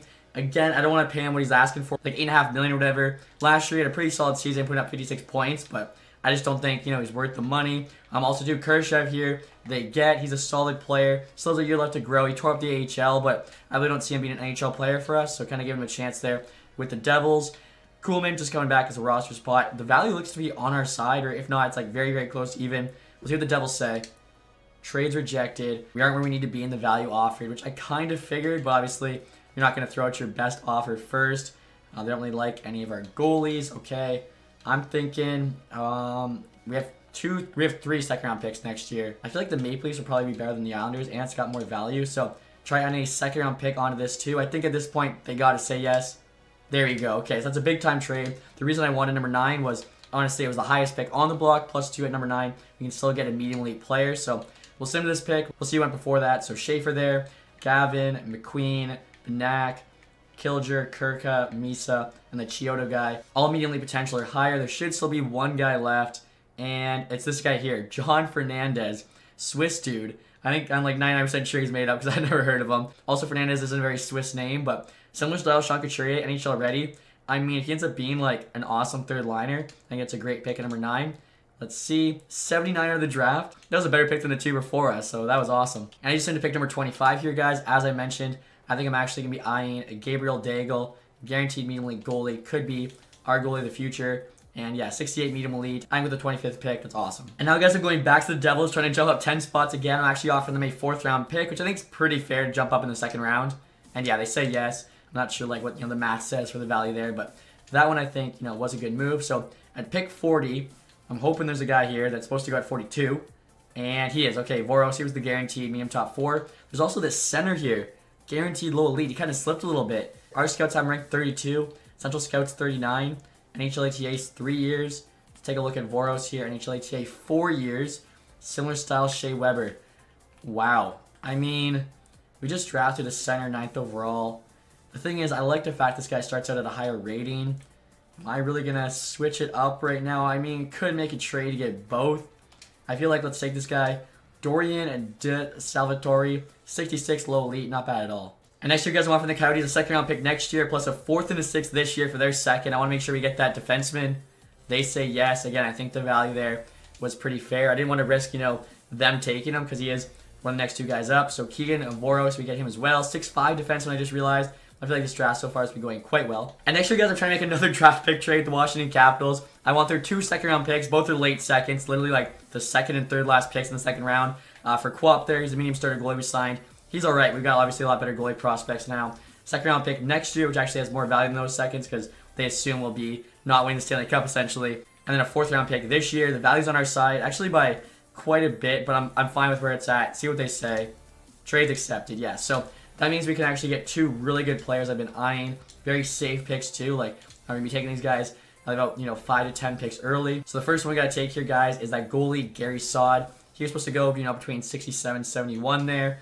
Guaranteed medium elite, 58 overall. Got a ton of goalie prospects now to, you know, work with. Hopefully, you know, one of them ends up being sick. We can trade whoever doesn't end up being the starter. Uh, next year, we're taking Nicholas Priestap from France. 64 low top six. Okay, I mean, he was a gem. I feel like end of the second round, low top six could be better, but that's all right. And we're actually simming now, guys, all the way to, I think, the seventh round. I'm hoping that one guy is still there. He was like probably the biggest steal I found. And don't tell me. He got drafted. Mika Lumala there could be lowly. We'll take a chance. And he's a low top six, 49 overall. Not the best, but I mean, the rest of the draft went very, very well. Uh, definitely cannot complain. I mean, medium elite forward, medium elite goalie. Uh, we got two very solid second round picks. Another medium elite goalie. Super happy with that. And look at that, guys. Taylor Hall Dix off the offer we made him. Uh, same with Soderblom. Hofer wants more money. Okay, so we're going to have a lot to work with here. Uh, money is not an issue right now in Chicago. As you can see, we have over 50 million in cap space. Um, ridiculous. Obviously, um, Bedard's going to take a ton of that next year. But for next season, we probably get some big one-year deals. So Hofer, I want to look at first. Um, 1.5 for one he wants now. That's actually his price went down. It was definitely more than three million for two years, so this is crazy. Um, again, I'd like to keep him RFA. This way, we have like the control. Uh, Stauber there. I think we can find a better AHL starter at this point. Also, too, love seeing three medium league goalies: Daigle, Saad, Eddie. And so I'm going to start off here, guys, looking at the forwards. Again, Athanasiou wants 5.9. I'm going to think about it. I mean, we have 50 million. I can't be too stingy. Phil Kessel, I want to keep the Ironman streak alive until he retires. So one year, 5 million. He's lucky I like him. Uh, Corey Perry's 40 now. He wants 1.4. I don't know if that makes sense. Puljujarvi, he wants 2.2. Doesn't really do anything super special for us. I think at this point, uh, we let him go. Lysell and Nazar there, both 80s now. Definitely making the jump to the NHL team. Uh, Foligno's a 79. He wants 1.8. I think we can find guys for dirt cheap to play on the fourth line. Uh, Fernandez honestly might be a fourth line center for us. I know he's got mainly potential. Maybe he'll be third line center, but um, definitely to sign to a contract here. Mackenzie Entwistle there, I just qualified. Tkachuk, Kuhlman, they're both going to get let go. I mentioned last episode, have to sign Oliver Moore now. Helenius there's a 75. I think we give him a contract. Uh, again, playing the AHL, maybe even NHL, honestly, if he grows a bit more this summer. And now looking at our defense here, guys, Jones and Murphy are both returning. The next four are all pending free agents. I think both Korchinski and Vlasic we can pencil in the NHL next year, so we only have to bring two of these guys back. Giordano's the vet at 41. He wants 4 million. Schultz wants 4.8 on a two-year. Cole there wants 2.6. He's only one overall lower. Shattenkirk's the worst. He wants 1.8. So I think we let go of Shattenkirk. I think we have to keep Cole because he's the best value. And then I guess Korchinski, honestly, he's offensive defenseman. He kind of takes the role of Justin Schultz. So at that point, I think we let go of Schultz, keep Giordano, the team dad, 41 years old, especially since we're not bringing back either Perry or Foligno. We'll offer Giordano for one year that four million. And honestly, you know what? With Ian Cole, we could just wait until the free agency. I'm sure we can sign if we want to, but if there's somebody really good available, we can put in our top six, not just next year, but for the future. I think it makes more sense to uh, potentially have the money for that. And so I think that's all the offers we had to make, guys. I'm curious to see like what the cap space will be once they all go through. Had to re-sign the head coach as well. I feel like he's done well, so I actually extended him for eight years, which is the rest of the franchise series. Hopefully rejected. Okay, why is it so hard to get this guy signed? Uh, Giordano said yes. Phil Kessel wants to test for agency. No, Phil. What are you doing? Uh, Fernandez, the guy we just drafted ninth overall, said yes. I think the rest of this is just like AHL players. So basically, we have to pay Phil a bit more. Again, he's so lucky he's Phil Kessel. No one else would I do this for, so we'll offer 5-5. So for your guys, I guess we'll have to probably overpay because he wants one year, not two. But um, again, I think two years makes sense. He should be, you know, going up in rating if our team's better next year. try offering three and a half. And in regards to Athens, you guys, I was hemming and hawing about what to do, but honestly, I feel like we already have enough forward depth. And with all the cap space we have, we can definitely go big game hunting, sign like two-star forwards. So we keep Athens at that point, pushing some of our young players onto the fourth line. Doesn't make sense. I'm going to let him go save the cap. Again, use that towards, you know, hopefully a better player, somebody in the high 80s. Hofer finally said yes. Same with Phil Kessel. We've still got 40 million in cap space there. All we have to sign, like I said, is a couple forwards, one defenseman, and I think that's it. Goalies were fine, so uh, we can definitely, like I said, sign some big name players. All right, guys, so it's now free agency. I'm hoping there's some good players here we can get. Uh, Buchnevich, Nick Ehlers would be sick. Brad Marchand, Victor Hedman. Are you kidding me? Um, let's Luke Hughes, but he's an RFA, I'm sure. Yeah, okay. Carter Verhaeghe, as I mentioned, Hedman, Jakob Chychrun, Domi's there, K'Andre Miller, also an RFA, TJ Oshie, Ivan Provorov wants seven, Gavrikov, Athanasiou, Nick Backstrom, Patty Kane we could bring back. I don't know if you guys would want me to do that. Um, definitely let me know, I guess, before he retires. He's already 36. But, all right, first things first, we got to go get Nick Ehlers. Like, he's 29, not that old, 90 overall. He's a playmaker. Having him, Bedard, and I guess Taylor Hall in that first line, like, would be so nasty. Super fast, too. Uh, we have $40 million, so why would we not try and get Nick Ehlers? Seven years, pays until he's 36, so in the seventh year, this contract might not look too great, but I mean, that'd be one year before we're done. I'm trying to think.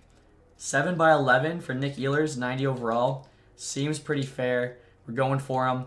Uh, Buchnevich, one overall more, one year older, plus he actually wants like $1.5 million more, so I'm going to avoid him. Marchand wants a lot for a 37 year old, but at the same time, we have a ton of money right now. If we did like a one year deal on Marchand, that wouldn't be like too terrible just to try and go for it. Again, with Bedard on his entry level, we still have like $30 million here to spend. Um, we could get Hedman and Chychrun and Marchand, honestly, because like they're not all costing 10 million bucks. We might as well try and do it. It'd be insane. So Marchand, one year, um, we'll offer 8-5. Victor Hedman actually wants a one year. A lot of competition. For Hedman, we're going to offer one year. We're going to offer 10-5. So again, we're going out there, trying to get these guys. Chychrun's only 27. He could be part of this core for the future. He wants four. We're going to give him what he wants. He wants seven. We could do He's 7 overall. We could do 8 by 4 We'll still have $20 million to sign Bedard next year, as both Marchand and Hedman are one-year deals. So this is probably the most money I've ever offered out, I think, in one free agency, but might as well go for it. In terms of goalies, lines, Ullmark's actually available. Honestly, I trust in Hofer, though, especially he's young, he's getting better, really good price. Marc Andre Fleury, 85 overall, 1.6. Okay. Um, he could be in a tandem with Hofer. If Hofer grows, he's the same rating, or potentially backing up Fleury, but that's just too good of a price to pass on, I feel. Um, okay, Fleury. He actually played in Chicago for a little bit. If we do this, I want to just go in the AHL, so we'll have to wait to see what Fleury says before signing AHL goalie. Try 175 for one year. We are being super aggressive right now, but hopefully it works for us. Uh, Klang there, 2377, medium starter. He's actually really good. Um, I think I can make an offer on him. And even if we get Fleury, it'll be okay. Try three years there at 950k. He's a very good AHL goalie. And in terms of free agents, you got to Akil Thomas here, 25.77, medium top six. Might as well, you know, give a chance to him. Just uh, leave him in. Kurashev actually back available. We'll take him back. I mean, they're not to keep him. We will. Two years, 850k. What is Anaheim doing? Drew Helleson, 24.78, medium top four. It's cool to see him finally in the game. They're not even keeping him. For two years, he wants league man. Let's try 950k. I'm also on Antonio Stranges, 23.72. He got the elite edges because his uh, edge work's insane. If we can get him three years league min, maybe he'll grow in the AHL. Mavrik Bourque here as well, guys. 23.78 high top nine. Why is he not getting signed? I don't understand it. Same with Reese there. We'll make both these guys offers. And next year, guys, are trying to get big time trade with the Calgary Flames. Offer them Matt Duchene. He's got one year left at 4.75. I feel like we got a lot of guys coming in. He's about to be 35. I don't want him to drop an overall again and his trade value go down. Just want to take advantage and trade him right now, coming off a pretty good season. And with him here, I got Sternborg and Entwistle. Honestly, they're probably never going to make the NHL team, so just kind of getting rid of a couple of contracts, make sure we have enough for all the free agent offers. Obviously, too, Matt Duchene, you have to trade with a city that likes their country music. Calgary fits that bill. And I'm trying to get back an insane return. Tanner Howe was the 13th pick, 2024. And then Liam Greentree here was the 14th pick, 2024. I didn't even actually realize. So they went back to back. Calgary's got both now. Somehow the value is pretty close. Both of them aren't on the block though, so I assume the Flames say no. We're gonna try it though. Trade's rejected, but the value you're sending our way is insufficient. Honestly, I'd be fine with just Howe and a pick. I feel like you play with Bedard, it'd be very cool. Um, we'll try Howe in a second. Is that more value than a Greentree? Trade rejected, yeah. So we'll try Howe in a third here. It does suck. I know that's on the block for the Flames because they're rebuilding, but they want Duchene, and they say yes. Okay, so Tanner Howard, a third round pick for Matt Duchene, plus clear a couple contract spots. So Bedard, you know, we're getting his buddies on this team, which I think is very cool. And now we're gonna continue seeing here guys through the summer, waiting here back on all those big name free agents made offers on. Hopefully, to us making the playoffs helps to sign them. Kurashev's coming back. Reese said yes. Akil Thomas. Helleson there. Stranges. Bjork. Cal Klang. Obviously the big fish. I'm not saying anything yet though. And Nick Ehlers accepted the 7 by 11 Let's go. That is a huge signing. Brad Marchand as well accepted the one year cash offer was most generous. Marc Andre Fleury said yes. Same with Chychrun, are you kidding me? And Victor Hedman. Alright, so I know some people are going to hate this episode because we went insane in the summer, but what are you supposed to do when you have $50 million in cap space? Like, You gotta use it. We still have $10 million. Like, we still have enough to sign Bedard next year, especially with Marchand and Hedman both being on one year deals. We'll even have extra money after that. Like, we're definitely in a very good spot. And next year, guys, we get a small trade the Devils, offering them Vinny a sixth for a fifth. We're moving up one round.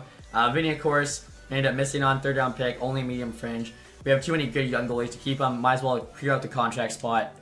Devils say yes. I feel like that was pretty fair. Now, the one thing this team still needs, guys, is a solid fourth line forward. AJ Greer here, 81 overall, grinder, only 28, so he's still pretty young, wants 1.5 for one year.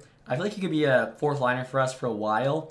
If he wants, okay, yeah, he actually stays pretty cheap. Let's try two years, 1.5, exactly what he's asking for. Again, I think that's really all we need. Other than that, the team is set for next season. And there we go, guys. Adrian Greer said yes. And now look at this, guys. A massive offer from Montreal Canadiens. Brandon Montour for Christian Alanis, Anthony Cristoforo, and a second round pick. I feel like we're already set on defense. Otherwise, though, pretty good offer. And obviously, too, it kind of shows you. I think the rebuild's over when teams are offering us one of their best defensemen for, you know, picks and prospects. Speaking of that, Ottawa just offered a Chabot for Helenius, Saad, Cristoforo. Again, I don't think it makes a ton of sense because we already have like a solid team. So we might as well keep our picks and prospects to try and you know, keep the dynasty going for more than just one year. Now, I'm going to show you guys what the team's looking like. I'm very, very excited. I think we potentially could compete for Stanley Cup this year, depending how the sim goes, obviously. There's now Brad Marchand, Connor Bedard, and Nick Ehlers. I think that's pretty nasty. They get a plus four. You got Kessel still on the team, keeping that Iron Man streak alive. I don't think anyone's ever going to break it. Like, he's 38 years old, still going. He's playing Lukas Reichel there now, 88, bunch of X Factors, and Taylor Hall. Third line, you got a couple young players there in Lysell and Nazar getting called up, playing with Taylor Raddysh. Fourth line, Fernandez, we actually just drafted. Ninth overall, 79 medium elite. Hopefully does well. There's a two-way forward. Playing Jack Drury and AJ Greer. Then defensively here, guys, we got Victor Hedman on the team. Playing on the top pair, of Seth Jones. Obviously, he's gone down in rating now at 86, but it's still Hedman. Plus, we only signed him there for one year. Uh, second pairing, Jakob Chychrun, a big free agent signing, 27. Can actually be a part of this core going forward. Kevin Korchinski, now an 83 on the team. Murphy, Giordano, very solid bottom pair defensively. Goaltending-wise, we got Hofer starting. Fleury backing him up terms of the power play, we've actually got Korchinski quarterbacking that first power play with Ehlers, Bedard, Reichel, Marchand. Like, that looks deadly. They get a plus five. Now, power play two there's getting a minus two, but still doesn't look too terrible. You guys can see the four-man power play one there, four-man power play two. In terms of the PK, I think it looks very solid, plus five on the first unit. Uh, second unit there also doesn't look too bad. Same with the third. I made sure too everyone had at least some special team time, whether it be you know second power play, second PK, whatever. So Hopefully everyone will get some decent growth. Now in terms of the AHL team, they also look pretty solid. You got Othmann, Kershaw, Maggio on that first line. Helenius on the second. He's a 76 medium link. Could probably get called up to the team next season. Tanner Howeven, 76 medium top six. So I feel like there's a lot to look forward to with this team, not only now, but in the future. Top D pair in the AHL, Vlasic Helleson, like very solid. Nolan Allen there even is a 79. And also, too, in terms of goaltending, Kyle Klang there, he signed in the summer, is a 77. He randomly grew up to an 82. So I thought about maybe replacing Fleury with him, but Fleury's got one year left. We'll give him another chance at his fourth Stanley Cup. Also, you guys, who did miss last episode, Connor Bedard is now the captain, youngest captain in NHL history. Uh, Murphy and Jones there are both still ranked A's. Also, I asked you guys last episode how much money I should give Connor Bedard for his extension, and the top comment came from Kevin saying, "Give Bedard what he's asking for. Real life players sometimes take discount if they like the direction his team's heading. Loyalty still counts. It'll make the team more competitive." So that's exactly what I'm gonna do here. Connor Bedard is asking for 10.3 for six years. I'm gonna give him 10.3 for six years. I think that's very, very fair. Marchand, Hedman are probably just one-year rentals. Kessel, we'll have to see his rating to see if we bring him back. Now, Murphy's been pretty low this team for quite some time. He wants almost 5 million, though, for three more years. Honestly, it's not a terrible ask. If he takes, like, four and a half to for three till he's 35, I'll get that done right now. Also, to look at some players in the AHL, Othmann's 80 could definitely get called up here soon if we don't bring back Kessel. 1.1 for one. I mean, let's try a two-year bridge deal, million bucks, even if he doesn't get called up. We're fine. Allen there also could get called up. Two years 800k is so cheap. Maggio here is going to extend. For some reason doesn't let me. I think everyone else we can probably just wait on. So um, hopefully everyone we made offer on says yes. Also, too guys, before you do start this sim, I'll show you our ratings for this season. As I mentioned, uh, we're already trying to compete for the Stanley Cup here in year three. Again, I think Dart making 950k, it's like our best opportunity to do so. As you guys can see there, we got 96 offense, 92 defense, 85 goaltending. Let's see how this team does. And there we go, guys. Connor Murphy did say yes. We're bringing him back for three more years. Othmann as well. Same with Allen. Waiting here back from Bedard. Let's go. We got the kid locked up for the next eight years. Actually, you want a six-year deal? So we actually might have to give him a new contract in the final season. Wow. Look at the offer the Flyer just made us. Cam York in a third for Othmann in a third. Cam York should be higher rated. I see that he's not signed, so they don't have the money to afford him. I forgot to tell you guys, but even after signing all those big name free agents, we still had $11 million in cap space. Just ridiculous. Like, We were trying to spend 50, we only spent 39 or whatever. And yeah, look at that. Cam York's an 83, offensive defenseman. I mean, I think we have to say yes. He's 24, offense 22. I think we have more forward depth than defensive depth at this point.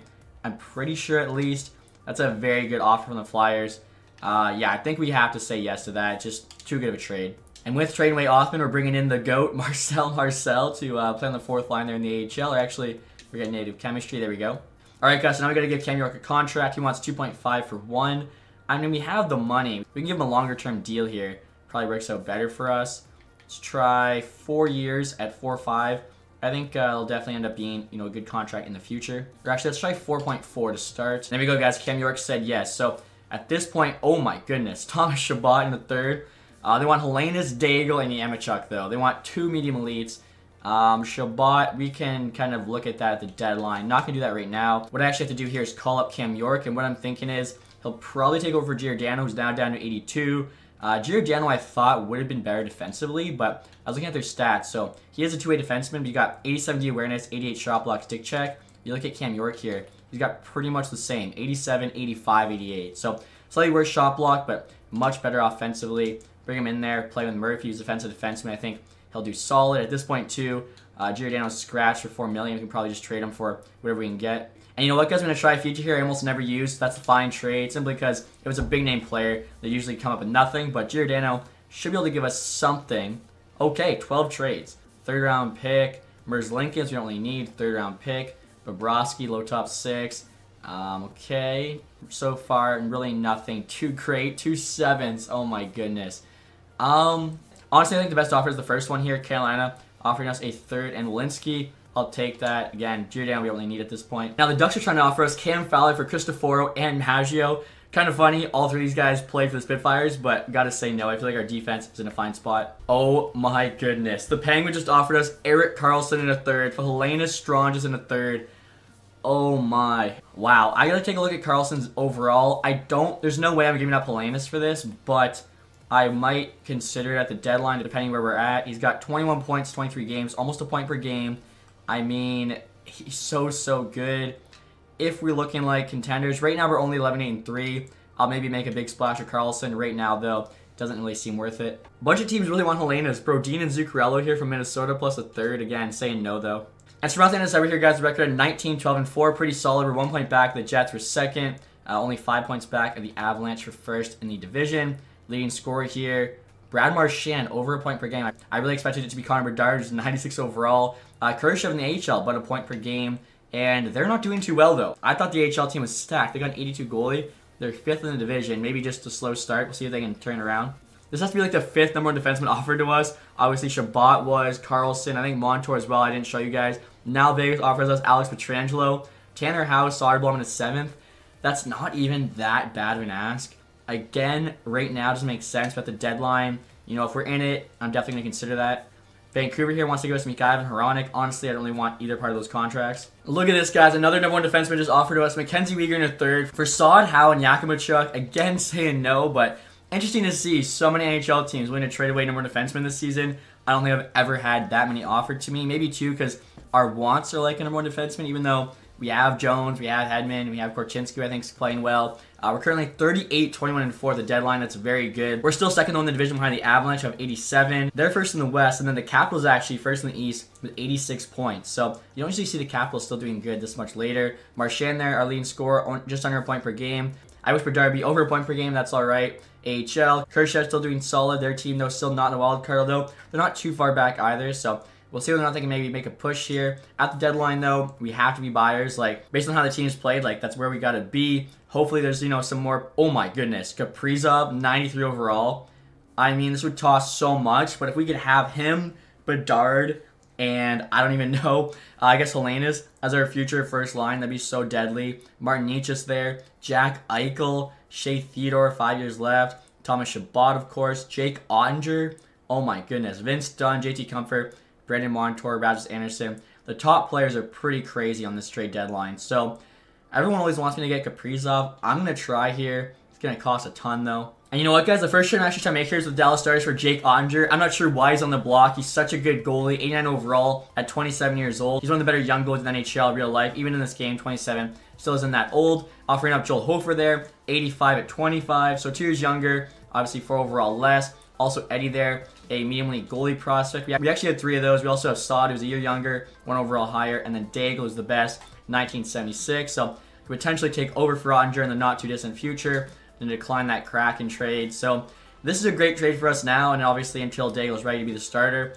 probably sign under like a two or three year contract. Let's see what the stars say. The value's pretty equal. Trades rejected. I thought, you know, it was pretty fair. Maybe they said we were quite far off. I mean, we got a lot of prospects. Can probably throw somebody in.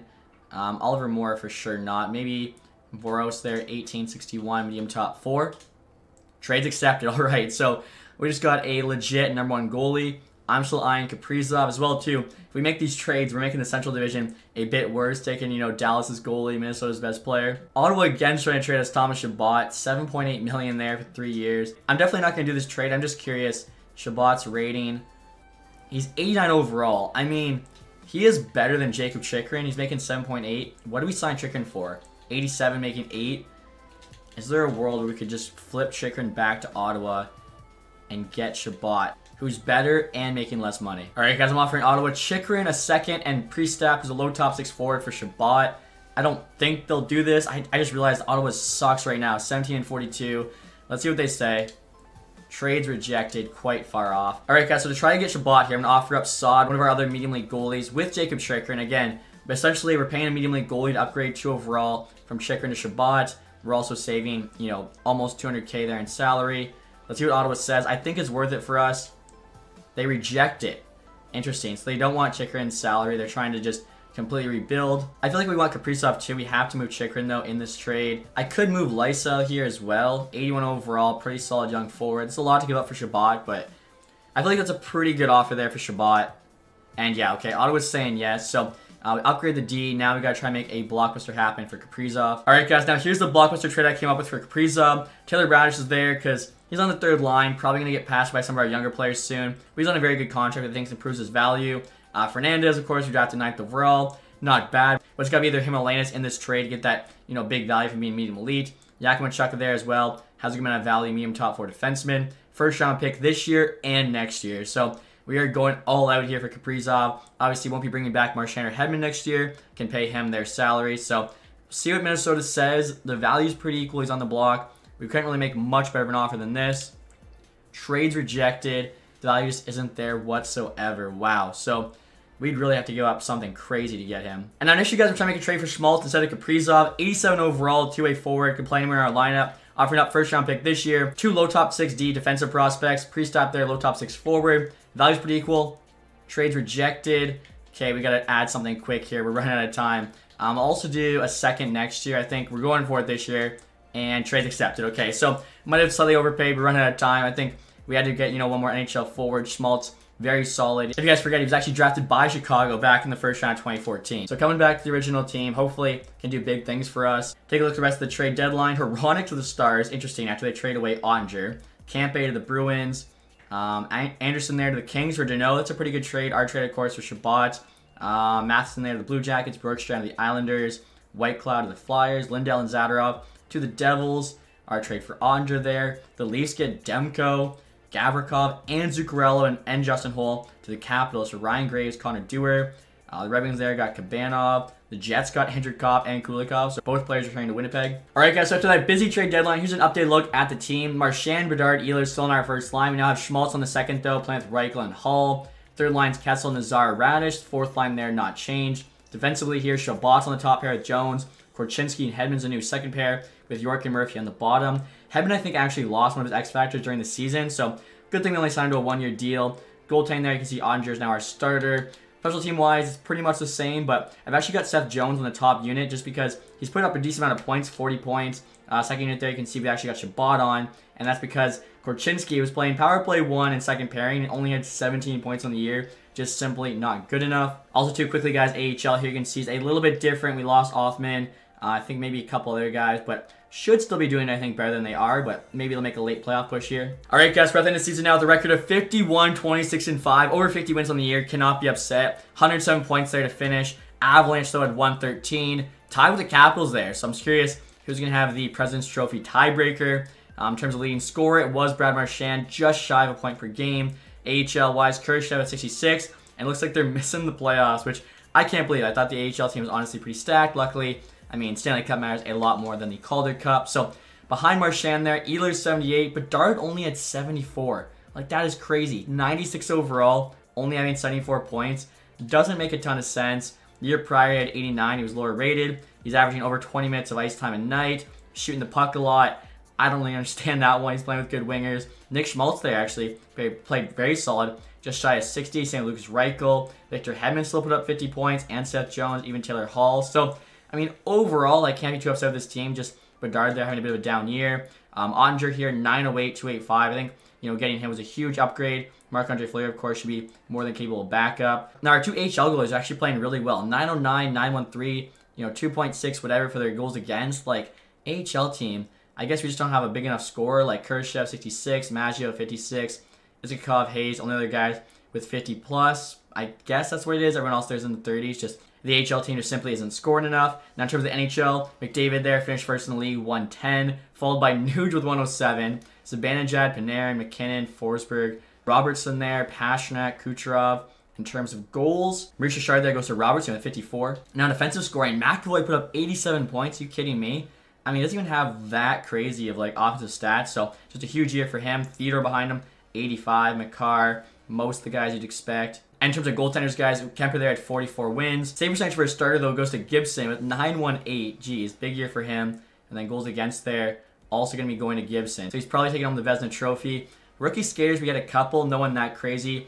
Colby Chiodo, who went first overall over Misa. Uh, LA Kings probably winning the Calder Trophy. Demidov as well was playing with them. So the Kings have a couple uh, sick rookies there. Zach Benson here on the St. Louis Blues. I forgot the Buffalo Sabres trade him. Also make the NHL probably a little bit later than he will be in real life. But Nazar there, uh, sixth in scoring for rookies. We'll take that. And now next year, guys, look at the entire league. We actually finished third place there with 107 points. So not too bad at all considering, you know, where we were in that first year. Wow, Arizona, Seattle, both squeaking into the playoffs, 18-20 seed. Ottawa, oh my goodness.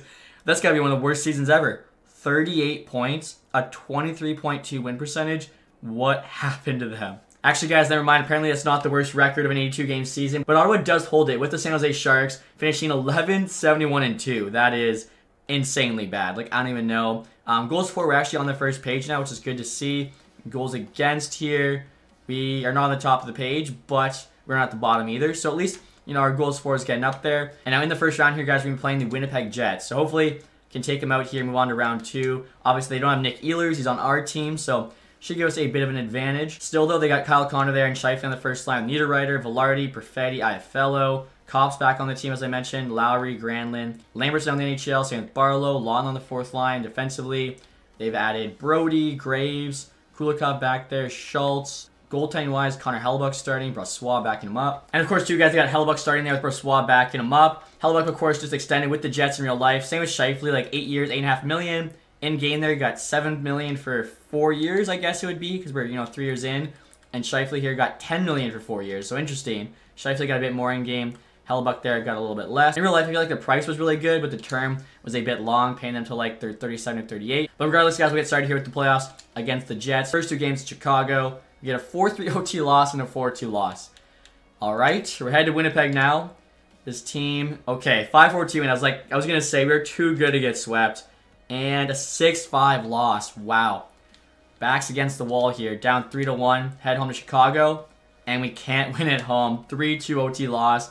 I mean, we lost three of the four games by one goal. The other one was by two. That is so disappointing. Now, the good news is, guys, the AHL team actually did squeak into the playoffs. Currently up 2-1 here on the Griffins. Can they close it out? They do. Wow, it went to game five. But they're moving on now to round two. They got the Iowa Wild here. Let's see. Another five game series. We'll just sim through this whole thing. And we lose in three straight. That's tough. Alright guys, the playoffs are now complete. We actually lost the eventual Stanley Cup champions in the Winnipeg Jets, so makes me feel a little bit better, I guess, about getting knocked out in the first round. Minnesota, jumping from 5 to 1, gonna have the right to pick Gavin McKenna first overall. Very cool, especially if they're losing Kaprizov this summer. I guess they're just completely rebuilding. Hedman was our playoff scoring leader, 7 points, 5 games. Uh, did not expect to see that. I'm not sure what the rest of the team was doing here. After him, wow, next closest guy was Kessel at four. The two veterans were actually trying to win a cup. Schmaltz, Reichel, but Dart only had three. Same with Ehlers. Uh, Brad Marchand's our leading scorer in the regular season. and he had two whole points. Uh, yeah, team need to play better than that. Goaltending wise, Oettinger did not do well enough. And now look at the playoff tree here. You guys can see the Jets, of course, beat us in the first round, swept the Avs, beat the Ducks in six, and then the Leafs in six for an All Canadian Stanley Cup final. And next year, guys, we're taking a look at the awards. Again, Jets win the Stanley Cup, Abs there, President's Trophy. Individual awards here, McDavid with another Ross Trophy. Hart, though, goes to Nathan MacKinnon. Morrissey, James Norris, okay. Panarin, Lady Byng. Demidov got the call to over his teammate, which is kind of funny because his teammate had more points. Scheifele, Conn Smythe. Gibson did get the Vezina. Also won the William Jennings. Kirker there on the Sens got the Bill Masterton. Arizona coach Jack Adams. Kopitar with the Selke, MacKinnon, Ted Lindsay, and then and then Robertson and with Shard. And now look at the AHL awards here, guys. The Lehigh Valley Phantoms actually won back-to-back Calder Cups. Very cool for them. Poitras there, the most points in the AHL, pretty cool. I'm pretty sure he actually made the Bruins team this season, or at least for now. Also got MVP. Uh, Cogliano most goals, wow. Demick there, best rookie. Pishek, best defenseman. Blomqvist, best goalie. Laurier, MVP of the playoffs. Would never expect to see that. Uh, Poitras sportsmanship. Ross Potnick, community involvement. Hopefully I said his name right. And then Blancas there, lowest goals against. And next we're going to take a look at retired players. Joe Pavelski calls it quits. Actually finished there with the Dallas Stars. Blake Wheeler on Montreal. Sam Gagner, Brassard, Palmieri. So uh, some pretty big names here. Cogliano put up the most goals in the AHL. Then decided call it quits. Goaltending wise, Marc-Andre Fleury. Would have been nice to get him Stanley Cup in his final year, but that's all right. All right, guys, we're going to the draft now. Of course, like I mentioned, McKenna should be the first overall pick unless uh, there's some crazy created guy. So we'll take a look here, and yeah, McKenna is projected first overall. Behind him, you got five medium elites. Take a look at gems here. Uh, Bludoff, medium top four. It's like a late first rounder. Low top six doesn't seem worth it. Um, ooh, guaranteed mainly goalie gonna go in the third round. That's the exact kind of player we like. That's why I'm so willing to trade him away. Are you kidding me? We've also got a guaranteed medium elite center. Again, going in like the third round. We gotta make sure we got a couple third round picks for both those guys. But great work by the scouting department this season. I love that. And now next year, guys, I'm offering the Boston Bruins Marchand signing right with the seventh to get a third round pick. Actually went up in rating after last season, 89 overall now, but simply can't afford him. He's probably got like one year left before he retires. Let him retire as a Bruin. They say no to that. Interesting. I thought that was pretty fair. Um, I mean, I would even do like a fifth. I should have read what they said. They don't feel Brad Marchand fits the need of their team. That is hilarious. All right, guys, I'm going to try trading him to Buffalo instead. I've actually got to retain half his money, as the game still has a salary cap at the draft, which it really shouldn't. Like, this contract should be 0, not 8.5. Luckily, it doesn't hurt us, and they say yes. So that's big, as obviously I showed you guys the two guaranteed medium elites. We now have the two third-round picks to get them. And so we'll just into the third round now, guys, to make our picks. Uh, first, I actually want to show you the first round, though. So Gavin McKenna first overall, 83 medium franchise. And I'm sure a lot of you want me to get him to pair him up with Bedard because they're cousins, but we'll have to worry about that later on. I'm going to let Minnesota take him first overall for now. Um, the rest of the top five there you can see is all medium elite, even sixth pick there.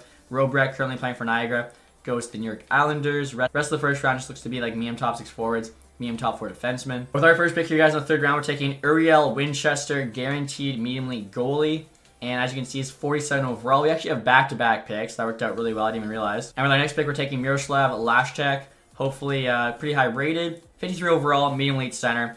Not the highest rated, but still. For a medium elite, going in the third round, like, that's crazy value. And we now have the first pick here, guys, in the fourth round. There was actually somebody else I really wanted to get. This Heward guy could be medium elite, Clarence Heward. We're taking a chance, and he's a medium bottom six. All right, well, miss 100% of the shots you don't take. We've got another pick in the fourth round. This Russian guy, Artem Kovalev, could be medium top four. We'll try it. And medium seventh. Now in the fifth, this guy here, Jalen Morrow, also could be medium top four. Medium seventh. Oh my goodness. Next year, guys, I'm offering the Kraken our seventh round pick this year for their pick next year, just because there's really no one left I want. They say yes, so pick up a pick there, which obviously is always smart. If you see no one left in the free agent class, that's you know even worth taking a chance on. Might as well try and get some picks for the future. Luckily, though, we got that medium league goalie and medium league center. I would say the draft went pretty well for us. As for another resign phase, guys, with $26 million in cap space, you might notice Connor Bedard actually dropped in rating. Was a 96 last year, now a 94. Ehlers, I think, might have dropped in rating from a 90 to 89. Jones, I know, was a 90. Hall, though, went up in rating. Reichel dropped one. Uh, Schmaltz might have dropped one there as well. Hedman, as I mentioned, I don't think we're bringing back unless he's super cheap. Yeah, 6.4. Uh, we simply have other defensemen we can play instead of him. Now, Schmaltz I actually might bring back. I was looking at him. He had a point per game for us, so he played pretty good there on that second line. He wants five million. Like that's not too crazy of an ask. That's what Kessel was getting paid last year. He now wants four million. He's down to 83. Uh, I don't know. I feel like Kessel's 38. He's gonna start to drop off pretty soon. Like he's an all offense guy. We got younger players. I think need the ice time. So at this point, hopefully someone else can uh, sign Kessel and uh, keep that Iron Man streak alive. I feel like we've you know done our part. Now Maggio here tried signing earlier. He wants 800k for one year Now I could give him at three years for a million, or we could go long term. Depends, you know, how much we believe in him. Uh, we only need him for seven more years. If he said yes to like a 175, I think that'd be worth it, especially if he turns into. I'm hoping like an 83. We can play on our third line. You know the rest of this thing. Jack Drury here. I'd love to have as our fourth line center still. 1.5 is a bit expensive. Um, he goes like 125. We'll do it. Also, you guys, in terms of the goaltenders, obviously you got to sign Oettinger after making that big trade for him. Seven million bucks. I think he was making like six, seven before, so it's a slight raise, not much at all. Seven years, he gets like way more expensive. So I guess we'll just worry about that in the future. Um, we'll see you guys six, seven, five for six years. Pretty much what was exactly what was making before. Klingner can be the backup. Soderblom, I could bring back the AHL starter. Wants 1.2. Honestly, Daigle there's a 77. He can be the AHL starter. We can sign somebody else to be the backup. All right, so Drury wants more money. Andre said yes, so that's big. Del Mastro, Maggio, doesn't like how long that was. Cristoforo said yes, same with Daigle, Yakemchuk, Colton Dach. And now we still have $20 million in cap space here, guys, so we could definitely sign Schmaltz and still have enough to get like Kaprizov, for instance. Four years he wants there. Let's try four years, $5 million right on. Now, Drury here, I think I'm going to play hardball with, qualify him. I don't think many other teams are going to offer much more than that. And then for Maggio here, I'm offering pretty much the same deal, but one year less. Hopefully, that'll make him say yes. And as you can see there, Schmaltz said yes, same with Maggio. So I think at this point, we're pretty much good. We got almost $16 million in cap space. Drury have a qualifying offer on. Same with the Law, is like an HL guy. Um, I think, yeah, we are in a pretty good spot here. Can still make a splash in free agency and, and still have a lot of depth as well. All right, guys, so here we go. We're now at the free agency period. Hopefully, like I said, Kaprizov's available, and he is 94 overall. I think he actually went up in rating. That is crazy. He wants 13.3, so we have like just enough for him. Could also go after Jack Eichel, 92 overall, same age. I mean, I feel like we have Lukas Reichel be our second line center. I feel like Kaprizov's only asking for 400k more. He's two overall higher. Like his overall is insane there. John Carlson, Martin Garland, Miller, Doc. I mean, Doc would be kind of cool to bring back if we eventually get his brother too. Hedman, of course, is free agency now. Tekshay, Mikheyev. I feel like a first line of Ehlers, Bedard, Kaprizov would be absolutely nasty. So we're going after him. Seven years is what he wants. I mean, how many other teams can kind of match this offer? 14 million. We'll definitely have to trade away somebody to be able to afford like Korchinski's contract next season. But uh, for now, we're going after the big fish. And looking at goaltenders here, guys, we got Spencer Knight available. He's an RFA. Freddie Andersen, Bobrovsky. Again, really don't need anybody but an AHL backup. So we'll just look at two ways. Whoever's got, you know, some decent potential. Um, honestly, Quap was on our team for base and RFA, though. Markkanen, and then Rodriguez. Now, Rodriguez would be the starter. We want a backup. Markkanen, 24.71, medium starters, not terrible. Boyko here, though, seems like the better option. 23.77, medium fringe. Dude, 6'7". Um, Daigle, I think, is also a 77, but uh, should grow at least a little bit during the summer. Offer him 850k for three years. I feel like he'll say yes to that. And now look at this, guys. I'm checking out two-way skaters. Chaz Lucius, 23 years old, 77 overall. Medium to potential available. I don't get it. Obviously, at 23, 77, he could be a bust, but I'm sure he's better than a lot of the prospects the Jets signed instead of him. Still, we'll make an offer. Arizona, Vancouver also interested. Uh, we'll do three years there max offer, 950k. See what he says. Jet Wu, Kanizev, 2578. Honestly, we've got other guys in the HL about that good. Loof's only a 73 at 24. So, like, see, him not getting signed makes sense. Like, he's still very low rated for his age. Lucius, though, should be getting a contract. Now I see Caedan Bankier's available, 23.79, medium top four. I mean, this guy's almost already good enough to be in NHL. I think, too, it'd be kind of fun, him playing with Colton Dach on the AHL team. They both played on the Canadian World Junior team. We'll offer him, like, 875 for three years. Sokolov, 79 overall. Sniper. Obviously, the AHL team didn't score much last season, so he might be good on a one-year deal of 800K. Wow, LA Kings are offering us Kopitar. Obviously, got to say no. We need that money for Kaprizov, at least Waiting to hear back what he says. Devon Toews. That'd be a crazy trade. They want a lot there, though. Um, again, I think our defense is actually in a pretty decent spot. Um, Sokolov says yes. Same with Bankier. Boyko as well. Lucius. Zuccarello Vrana. Gonna say no. I'd rather get Kaprizov. And we do. Let's go. 94 overall. Kirill Kaprizov. That's who we wanted. We actually still have 2.5 million in cap space as well. And after getting Kaprizov, guys, we're trying to make a big time trade with the Penguins. They got Karlsson on the block still. A6 overall. He had 63 points last year. Obviously, a great offensive defenseman. Had them retaining 1.5 million, so this trade will actually go through. Offering up Raddysh there, who is on a pretty good contract, but I feel like, you know, Magic can replace him on the third line right wing. Cam York, I kind of signed early. 82 overall, he dropped. Only 14 points last year. This is honestly kind of a cap dump. And then Lavoie, there's an extra guy. First round picks next year. I think, you know, Karlsson over York really improves our defense. Again, Rash is expendable. Also, two Karlsson's only got one year left. After this, we'd have a lot more money to spend in the future. See what the Penguins say. Value's way on our side. Trades accepted. Let's go. Okay, so the first might have been a lot to give up, but again, I want to make sure everything, you know, worked contract-wise. Now, next you guys are trying to dump some contracts I don't need onto the Avalanche. As you can see, they've only got 26 to 50 contracts, so they could use some players. Trying to get a third-round pick back. We'll see what they say. Trades accepted. All right, so they got some guys now. We get a third. Works out well. We've actually got four third round picks in this upcoming draft. So in the fall now, guys, Drury here still needs a contract. Also, Allen's down 82 overall, but honestly, we have six better defensemen than him. So unfortunately, he'll be in the AHL. Drury's willing to take 875k for one year. I mean, okay, might as well just do that now. First line there, Ehlers, Bedard, Kaprizov. We just signed Kaprizov this summer. Thought about trying to make a trade for him. It cost too much. I ended up signing him for free. I mean, that top line is nasty. Second line even, Hall, Reichel, Schmaltz, I think is very capable. On the third line here, we finally have Konsta Helenius making the team. I actually asked my Finnish friend Ken how to pronounce his name. So yeah, Konsta Helenius. I was saying it way wrong. Uh, Frank Nazar there in the middle, Maggio on the left wing. So kind of a young gun line. Fourth line there is the same as last year. Greer, Drury, Fernandez. I think very solid. Fernandez for sure, once he grows a bit more, will be a third liner for us with that melee potential. Probably actually a top six eventually. Defensively, we're actually kind of stacked this year. Top four there, Chabot, Karlsson, Jones, Korchinski. I know, you know, Karlsson's down to an 84, but you look at his offensive stats, they're still very solid, especially that 95 offense awareness and poise. Korchinski even 85 with 97 passing. Didn't put up a ton of points last year. I'm hoping this year is different. Helleson's on 83, paired up with Murphy on the bottom pair.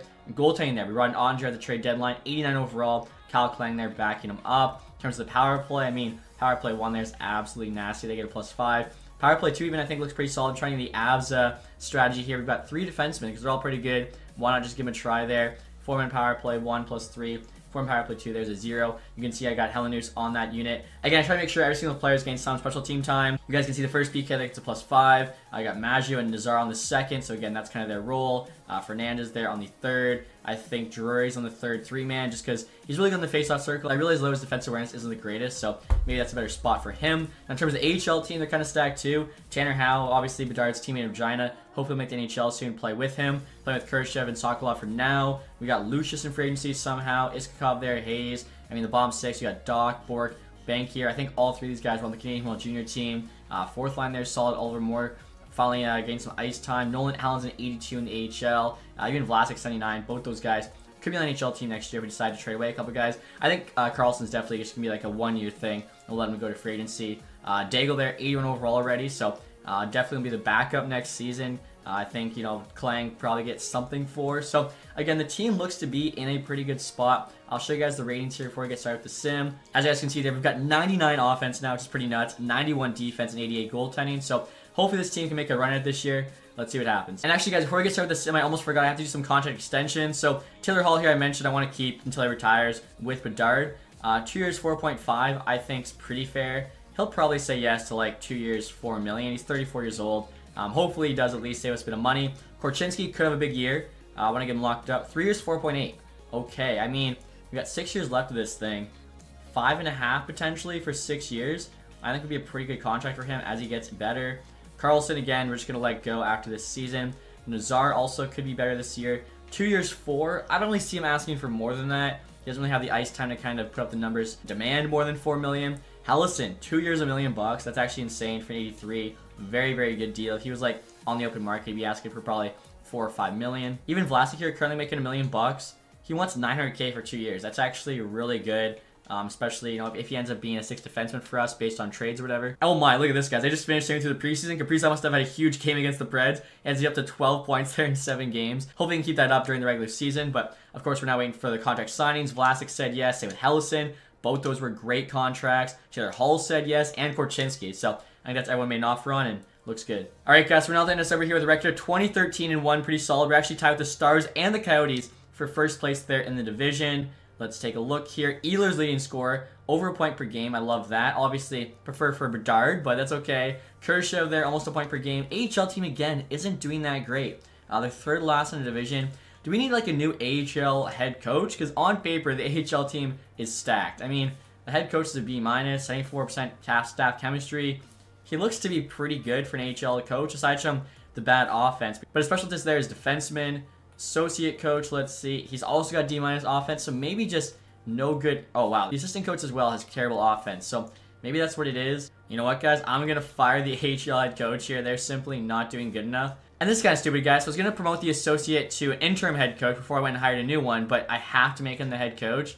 That is the dumbest thing ever. And now look who's available, guys. Joe Pavelski here, Rolls AHL head coach. Maybe he'll agree to be the associate coach because the season has already started. That'd be kind of fun. All right, so Pavelski said no because he wants to be a head coach. I kind of figured. Just got an interesting trade here, guys, from the Bruins. Fifth round pick for Jack Drury. I mean, he's our fourth line center. I'm really not sure why I would randomly give him up. Edmonton basically giving us the same thing. They also want to swap thirds. We're approaching the trade deadline here. Uh, still in a playoff spot, which is good to see. I guess the like assistant GM must put Drury on the trade block, but as you guys can see, we're currently third place in the division. Uh, we're a point back the Stars for second, five points back the Avalanche, but we have three games in hand, so we're definitely still right in the thick of it. Uh, let's see, Bedard's our lead score, love that, 65 points in 60 games. AHL-wise, Kurashev there's got 38. AHL team, 58 points. Okay, so they're actually like kind of close to being a wild card team. They got a couple extra games, but we'll see if you know firing the head coach helps them out or not. Again, trade deadline here. I don't think we have too much cap space, but we are definitely a buyer. We'll see. You know, if there's the right move to be made, we're going to make it. I try not to be too quiet ever at the deadline. Um, Scheifele, Hellebuyck there, both one year left. So kind of what was expected to happen this year before, of course, they both got extensions. Chychrun, Weegar, Hertl, McCann, Gustafsson, Askarov, interesting, now 87. Not much value either, honestly. Two years left at 1.7. Jeez, that is such a good contract. A 7 overall goalie uh, Brandon Montour, Mark Stone. I'm taking a look at under stats right now, guys, because if he's not playing that well, I'm immediately going to go after a scare Askarov because we're saving 5 million in doing so. 908, 291. I mean, that's pretty good. But for 5 million bucks less, we get a scare Askarov. Ooh, 887386. Now, uh, the Preds aren't a great team, so that's probably a big reason why. And now check this out, guys. The Philadelphia Flyers have Sidney Crosby on the trade block. I know people always say I trade for Crosby every time, but I mean, he's on the Philadelphia Flyers, which I don't think would ever happen. I think it makes sense for us to save him, you know, from his rival team. Also, too, if you guys watched, you know, the first game of the NHL a couple nights ago, Crosby versus Bedard. If you guys didn't know, Crosby was like, you know, Bedard's favorite player growing up. I think it'd be really cool if we bring Crosby onto the team, have Bedard play with his childhood idol, maybe win a Stanley Cup with him this season. He's making five million bucks. We retain half. That's only 2.5 million. Could be like our fourth line center at worst case. He's 83 overall. You guys can see he has lost some X factors, which is cool to see due to his drop in rating. He's got 34 points still in 62 games, so honestly isn't that bad for Sid the Kid. I feel like he's definitely slowed down a bit more than he would have in previous games. So honestly, what are we looking to give up here for Sid? I would say just draft picks. We've got four thirds. Um, would like our third and the Avs third get it done? Again, the Flyers definitely have to retain 50% on this, and that would make it go through. The two thirds, though, do not look to be enough. Maybe I'll throw in Misiak here, 22 years old, still only a 67 with medium top 9 potential. Uh, see if there's like another prospect that potentially could want. Honestly, I'll throw in these two medium 7Ds just as freebies. I don't know, two thirds and an okay prospect for Sid the Kid. He's getting up there in age. Maybe the Flyers say yes just to get something. They're actually in a playoff spot right now, so I guess they just don't want Crosby. And they say no to that deal, okay. Uh, they basically don't retain the salary unless it's a better offer. Third this year, plus a second next year. With all the prospects, value's now quite heavily on our side. Trade still rejected. Interesting. Not only retain the salary, even though we're literally at the trade deadline. See, that doesn't make any sense. And they have $20 million there in cap space. All right, guys, we're going to try a third and fourth round pick this year, second next year, plus Misiak there for Crosby. Come on. Trade still rejected. They don't retain the salary. I hope this isn't a glitch. Like, it doesn't make sense. The value stuff on our side is on the block. Expiring deal. There's really no reason why they should not want to keep this. We'll also add a fifth round pick just to try and make the value even more on our side. Okay, so we really had to overpay there. I don't know. I feel like they're being pretty stingy um, for how much cap space they have and being at the trade deadline. They have to pay him for like the next month and a half, not the whole year. That seems strange. And I just noticed Brock Boeser on the block here. Had four goals last night for the Canucks, not too bad. Also, Freddie Andersen now on the Canucks, also on the block. Pretty uh, low value there, but again, I think we'll just stick with Andre for now. All right, guys, so the trade deadline's now over. I just made that one move there for Crosby. Uh, Mario Ferraro going to the Washington Capitals. Neal Pionk to the Panthers. Jason Zucker there to the LA Kings. Brodin to the Canucks for Boeser. So Besser returns home there to Minnesota. Patty Kane back on the Rangers. Let's see, anything else? Washington there got a first round pick for Jakub Vrana, so his stock went way higher. Jersey, the Florida Panthers. Yamamoto, the Canucks. Hertl, the Boston Bruins. That's big for two first round picks. They also got Tarasenko with Hertl. That's crazy. Jake DeBrusk there, the Hurricanes. Montreal Canadiens there got a first round pick for Brandon Montour. Pretty big return. Zetterlund there, the Devils. I think the Sharks are just completely selling, acquiring a ton of picks. Uh, the Penguins got a first round pick for Pierre Olivier Joseph. Provorov there to the Kings. Sprong to the Ducks. Provorov actually went to the Wild first, then got flipped to the Kings. Interesting. But yeah, this trade here was huge. Hertl and Tarasenko were two first. All right, guys, so looking at our forward group here, deciding where to put Crosby in. Obviously, not going to touch the top six. Looking at the bottom six here, I'm honestly just concerned with plus minus. Maggio's a plus 9, Nazar minus 1, Helenius there's a plus 3, Greer plus 4, Drury's a minus 4, and then Fernandez actually a plus 5. So even though Drury's really good in the faceoff circle there with 90 faceoffs, he's coming out for Sid the Kid, who honestly is also pretty good in the faceoff circle. Yeah, he's got 88, so uh, pretty much just a better version of him. Now, is Sid really going to play fourth line for us? I don't think so. I feel like, let's see, Sid's got to get on that third line. Maggio there's got 28 points, Nazar's got 19, and then Helenius there's got 21. Nazar was also a minus one. So honestly, for the last month and a half, I think we're just going to do that there. That way, uh, Sid can play a bit more. All right, guys, so the regular season is now over. We finished the record there, 46, 28, and 8. 100 points exactly on the year. We're going to be playing the Avalanche in the first round. AHL team. All right, even after firing the head coach. Actually, you know what? They have a chance because they're currently tied with the Moose there. And I'm pretty sure there's four teams from each division that make the playoffs. Maybe the AHL team will somehow squeak in again this year. Kurashev, 48 points, 69 games. I think he's done growing now, so that'll be his last year with us. Leading scorer in the NHL is Connor Bedard, 87 points, 82 games. Look at that. He put up 87 points the year we acquired Sid. Pretty fitting, I'd say. Behind him, Kaprizov also over a point per game. Ehlers just shy there with 80. Uh, you got Karlsson putting up 75 points. That's why we got him. He's actually down to 83 now. Uh, he's a point producer, so I think that's a big reason why those guys had good years. Reichel 64 is still playing well. Hall just shy. Schmaltz 54. Jones almost had 50. Same with Chabot. Maggio 33 on the third line is not bad. Korchinski, I don't know why is not producing like point wise. 97 passing. Maybe just the offensive awareness isn't high enough. I feel like he should be doing better. Um, Sid the Kid. Crosby has somehow glossed right over. He's got 39 points in 83 games.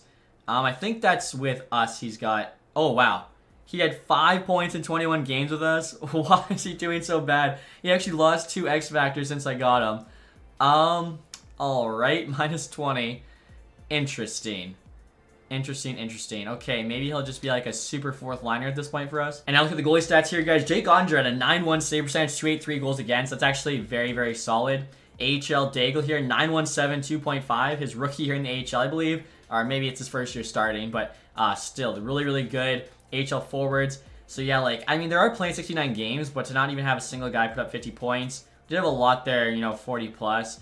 Um, still, I think, you know, they could be doing better. And look at the entire league here, guys. Ovechkin had 108 points at 41 years old, so he's still thriving on Lake Sid. Uh, Gaudreau 105, Robertson, McDavid, Draisaitl, Kucherov, Matthews, all had 100 plus. Stammer there and Panarin, both 99.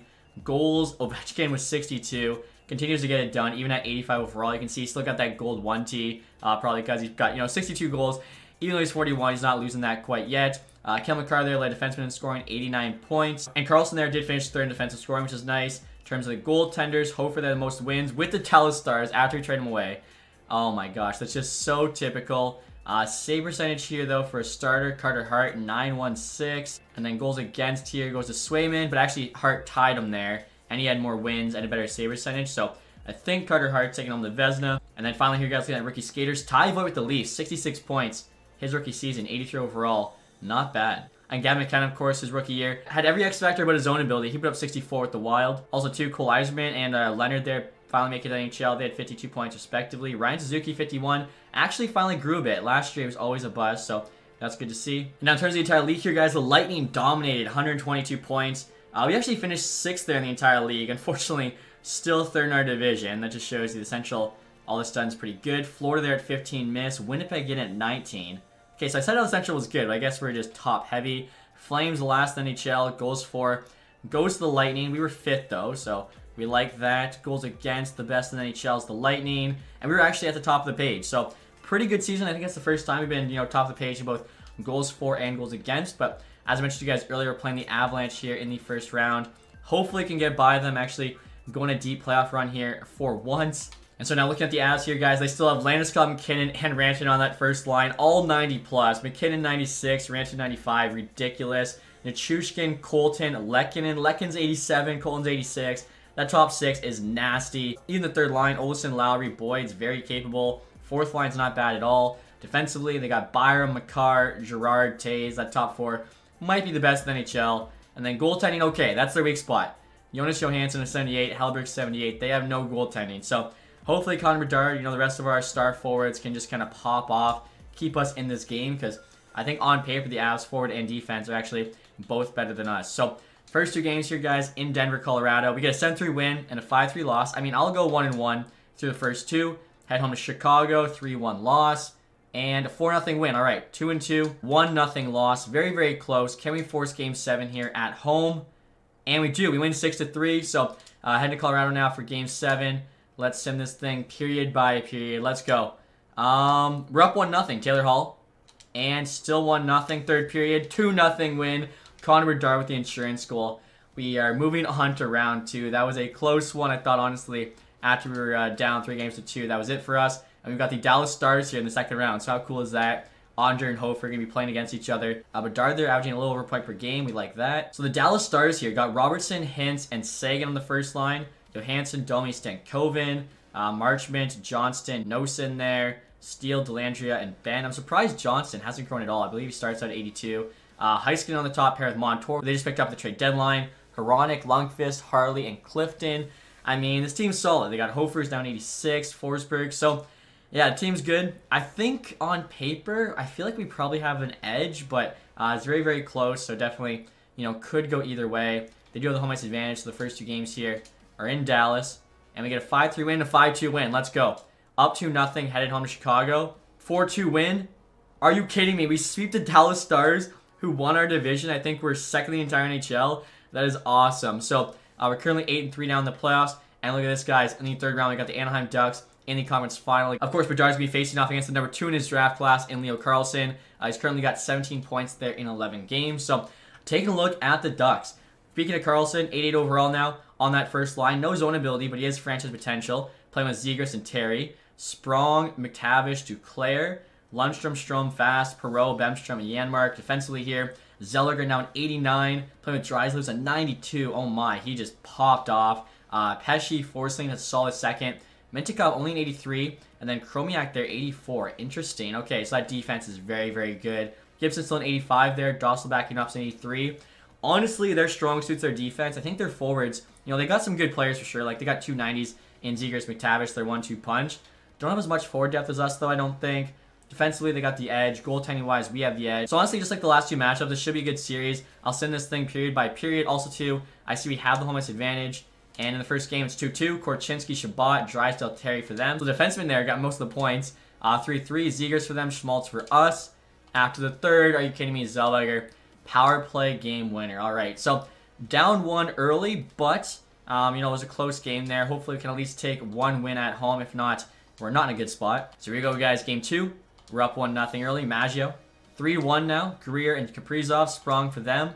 And 4-2. Maggio gets an empty ender for a second. Lundstrom gets one, but not going to be enough. So luckily they tie the series up. So here we go, guys. Game 3 now in Anaheim. 1-1 Nazar Zegras. After 2, Kaprizov Maggio. We're up a couple. And we hold on there. Okay, I was a little bit worried. The way it like it kind of simulates, the score is hidden. So you have a couple seconds there where you don't know what happened. Obviously, you're just kind of waiting for the reveal. Uh, I feel like it just makes it a bit more stressful. But uh, we're now up 2-1 here in the series. Game 4. Can we take two games in Anaheim? And 0-0 after one. They had a power play. 3-0. Reichel, Karlsson, Bedard. Let's go. Bedard's been kind of quiet, honestly. And we hold on there for a 3-0 win. Andre gets the shutout. So that is huge. 3-1 series lead now. We've won the last three games. Andre hasn't let in more than, I think he's let in three goals in three games. So he's got a one goal against the last three. I don't want to jinx him, but hopefully he can keep that up. Game 5 here's back home in Chicago. And we have a one nothing lead there thanks to Greer, the fourth line. Uh, Hull there makes it two nothing. couple former Bruins.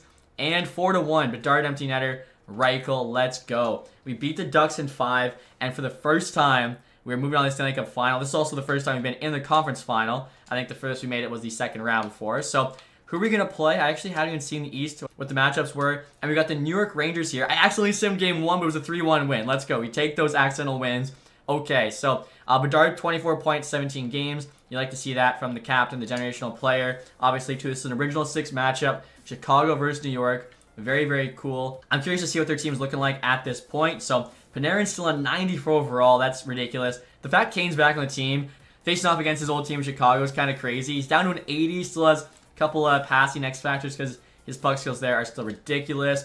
Kakko there's an 88 now. Chytil 87. Lafreniere 87. Uh, Kaloran, Trocheck, Appleton, Phillips, Rodriguez, Lindblom. Okay, so they don't have the depth we do, but, you know, their top six is solid. And now defensively here, guys, they got K'Andre Miller and Fox in the top pair. Fox is a 96, just an absolute beast. Uh, Trebuchet, Joseph, Schneider. Goaltending-wise, Shesterkin still in net, 92 overall. The Smith backing him up. So they definitely have the goaltending edge. I mean, defensively, they got the best D-man in Fox, but I think, like, we actually have the better D-core. And then forward-wise, I like us as well. I just want to see uh, the ratings here. Hopefully they actually stay up this game. I'm not actually sure if I've looked at it. So we've got 100 offense now after adding to the kid. 90 defense, 88 goaltending. They've got 95, 96, 91. So we have five better offense, but surprisingly, we've got like eight worse defense. That has to just be due to Adam Fox. And then their goaltending, of course, we kind of already knew was going to be better with Shesterkin. But we got a 1 0 uh, series lead. We've actually got the home ice advantage as well. So game two here in Chicago. Can we keep it going? And 2 0 for them. Hiddle, of course. Patty Kane has to do that to us. Are you kidding me? 4 4. What an answer. Ehlers with two. Karlsson one. Kaprizov. Zibanejad also gets two for them. Both those guys looking for hat tricks here in the third. Also potential game winners. And 6 to 5, they take it. Lindblom, Joseph there got the game winner. Nazar added one for us. Unfortunately, of course, uh, could not get to that game-winning goal. So, uh, series tied 1-1. I mean, honestly, in the Stanley Cup final, you take that. Head to Madison Square Garden now. Game 3 in New York. Can we get the lead? After one, 2-1 for us. Schmaltz Kaprizov, Panarin for them. 3-2 now. Kaprizov again. Phillips for them. Actually didn't even notice Phillips on that team. And 4-2, we hold on. Bedard there with the power play goal against Shesterkin. So uh, we take that for sure. Th 2-1 series lead. If we can make it 3-1, I'd be much more comfortable than if the uh, New York here can tie it up. So game 4 here, guys, is huge. Very pivotal. And they have a 2-0 series lead. Hiddle Lafreniere. 3-0. We have to have a huge third here. Answer back. And no. 5-0 loss. Kakko, Zibanejad. They just wanted that more. Tie the series up. And so here we go, guys. Game 5 in Chicago. We win this. We get the series lead back. And we're up 2-1 early. Schmaltz, Chabot, Trocheck for them. 4-1. Uh, Korchinski, Ehlers, come on, hold on. 5-3. They pushed, but luckily uh, Kaprizov there kind of got that insurance goal, and we were able to hold on. They actually outshot us too, so I think Andre playing pretty well here. And we are now one win away from being Stanley Cup champions. I honestly, the thing I want to see most, guys, is Connor Bedard passing off the Stanley Cup to Sidney Crosby. If they don't have Sid as an option, I'll be so pissed. Also, we got to win the game first, right? We got two games left. We got to win one of them. Please, please, EA, let this happen. Game six in New York, and we're down one. K'Andre Miller. We're down two. A lot of time left, though. We could definitely, you know, make a comeback of a power play. We need one here. Unfortunately, cannot get it. Shots, they're pretty equal. We actually have a slight lead. They have a power play, and they get another goal there from Hiddle. I mean, unless it's going to be a Toronto-Boston collapse, down three with less than 10 minutes to go. It's not looking good for us, guys. Reichel gets one. Five. Seth Jones gets one. There's no way. Four minutes, three to two. Oh, oh my gosh! When that goal popped up, I thought for half a second it was us. I thought we actually tied it up. Unfortunately, Schneider there. Make sure they hold on. Game seven, Stanley Cup final. This is what you play for. At home, original six matchup. Come on, like we couldn't write it up better than this. Here we go. First period, one nothing lead. Taylor Hall. Second period. Uh, okay, still one nothing. We're out shooting them. Power play. That's huge. Um, we can't convert though. Oh, Connor Bedard immediately after. We're literally almost doubling their. we are doubling their shots. 37 to like 16 it was. Two nothing. Halfway through the third period. Come on, Bedsy. Get us another. Five minutes to go. It's still two nothing. Two and a half. One and a half. 35 seconds left. All right. I think I'm just gonna play it, guys. I want to make sure I can like you know hand the Stanley Cup off. Plus, I want to feel the team. 30 seconds left. Two nothing. Alright, so for some reason we got the third line out there, the Young Gun line. And right there, guys, you can see them getting the Stanley Cup ready. 2 nothing lead, less than 30 seconds left. And look at that, Connor Bedard just took the goal lead in the playoffs. Uh, was that Pavel Buchnevich was actually the leader somehow, even though I don't even think he's still playing because he didn't show his team. Ooh, Ehlers, what a steal. 20 seconds now. You got the full pressure. In the Cup final, Karlsson here. Just, uh, we're basically uh, puck ragging in the offensive zone. Ehlers, just hold it. Ooh, that would have been so bad. To Kaprizov, nice save from Shesterkin. Bedsy's out there with three seconds left. Okay, gets tied up, but doesn't matter. Two seconds, one. There you have it, guys. Chicago Blackhawks are once again Stanley Cup champions, led by the Phenom and Connor Bedard. Very cool, too. I think Erik Karlsson just won his first ever Stanley Cup. Of course, uh, Crosby gets his fourth. You love to see that. And look at that, guys. Bedard also got the Conn Smythe Trophy. Hopefully his first of many. We still got, you know, six years left here to try and win one or two more Stanley Cups. Really turn this thing, I guess, into like the second Chicago dynasty. Obviously the first being uh, with Kane and Toews. We can do another one here with Bedard and, you know, Kaprizov and Ehlers. I think that'd be pretty awesome. And look at that too, guys. You got the red confetti coming down, not blue. They finally fixed it in this game. And right there you have Bedard, right number 98 in the C for Chicago Blackhawks. Hoisting the Stanley Cup. You love to see that. His first year, too, off his ELC. I really thought last year was our best year to win it, but uh, I'll take it no matter when it comes. Again, I'm really hoping Crosby's available as like the first choice here. I think that'd be so cool. And he is. Let's go. Bedard passing off the Stanley Cup to his idol growing up in Crosby. You can't. Come on, guys. That is just perfect. I mean, Crosby wearing Chicago jersey, I'm not going to lie, is a little bit weird to see, but uh, still a very cool moment. And now next year, I think he's got to give it to Seth Jones. He's been on the team for a while, struggled through some bad years. And I'm wondering too, Seth Jones has it here. Who do we give it to next? You know what? It's got to be Taylor Hall. Taylor Hall never won a Stanley Cup until now. Reason why I wanted him on the team was to actually get his first Stanley Cup. And Hall's not available. That is just, we'll say he got it fourth. And uh, we'll give it to Kaprizov next. Kaprizov, of course, another big part of this Stanley Cup win. And right there, you guys can see all the players that lifted the Stanley Cup staying next to each other. Pretty cool shot. And right here, you guys get the Stanley Cup pick. Bedard there, right in the middle. Seth Jones next to him. Then you got Sid. I can see Ehlers on the side. Same with Hall. Carlson there in the back. Chabot, I think I just noticed too. Very, very cool. Um, I think we got a bit of a glitch here the Stanley Cup lighting because the top there does not look like the bottom. Uh, not ideal, but uh, still, we got the Stanley Cup, so can't be too upset. And right there, you guys can see the names, Chicago Blackhawks 2026, 2027. It does suck, so it still shows, like, the real life last year winner next to you, opposed to in-game winner, but Connor captain. You can see Crosby there, his name as well. Uh, you love that. And I just realized, guys, I totally forgot to check the AHL team. Did they even make the playoffs? They did not. They actually lost out on a tiebreaker. The Moose there, the same amount of points, but uh, that's okay. I think I'll take the Stanley Cup over the Calder Cup any day. So uh, we'll keep simming here, make sure like everything finishes up. As you can see, Stanley Cup champion Chicago Blackhawks, love it. And the Calder Cup champions there with the Coachella Firebirds. Bedard actually had 32 points in 23 playoff games, so absolutely popped off. He was doing better in the playoffs than he was in the regular season, which honestly you kind of need to win the Stanley Cup. Kaprizov as well, tore it up. Ehlers there, a little under a point per game. The plus minus on that top line, that was ridiculous. I just noticed too, Bedard didn't take a single penalty in the playoffs. Like, that's crazy. Uh, Carlson did the same thing. Not a single penalty there, 17 points. Um, Maggio as well, not a single penalty. Uh, you love that. Just guys playing clean, especially in the playoffs. You don't expect that too much. Crosby, you can see, only had six points. So I think it was a one and done, you know, run with him. We got the cup, but I don't think I'll be bringing him back. Goaltending wise, Oettinger really performed for us. Four shutouts, a 9-3 save percentage, and 2.33 goals against. And I look at the playoff tree here, guys. Of course, we know our run to it, but uh, you had the best of seven with the Avs, swept the Stars, Ducks in five, then a best of seven with the Rangers. Rangers there with the Flyers in seven, Jackson six, and then the Lightning in six as well. Finally, here, guys, take a look at the awards. Stanley Cup champs looks good. Um, obviously, got the Clarence Campbell there too. Individual awards. Ovechkin got the Art Ross Trophy. I mean, that's still so crazy to me. At 41, Draisaitl got the Hart. Ovi definitely gets it. If at 41 he gets most points and most goals. Um, Makar, James Norris, Marner, Lady Byng, Ty Voigt there, Calder, Bedard, of course, Conn Smythe, Carter Hart got the Vezina, but Vasilevskiy got the William Jennings with Brossoit, uh, Matt Benning there, Bill Masterton, Seattle coach Jack Adams, Rossi there, Selke, interesting. I didn't think his defensive game was that good. Uh, McDavid though, Ted Lindsay, okay, and then Ovi of course, Maurice Richard. Ovi not getting the Ted Lindsay or the Hart, uh, definitely surprising. Again, AHL-wise, Coachella won the Calder Cup. Uh, most points there goes to Sachin. Kirk, though, MVP. Gogolev, most goals. Picard, best rookie. Ty Nelson, best defenseman.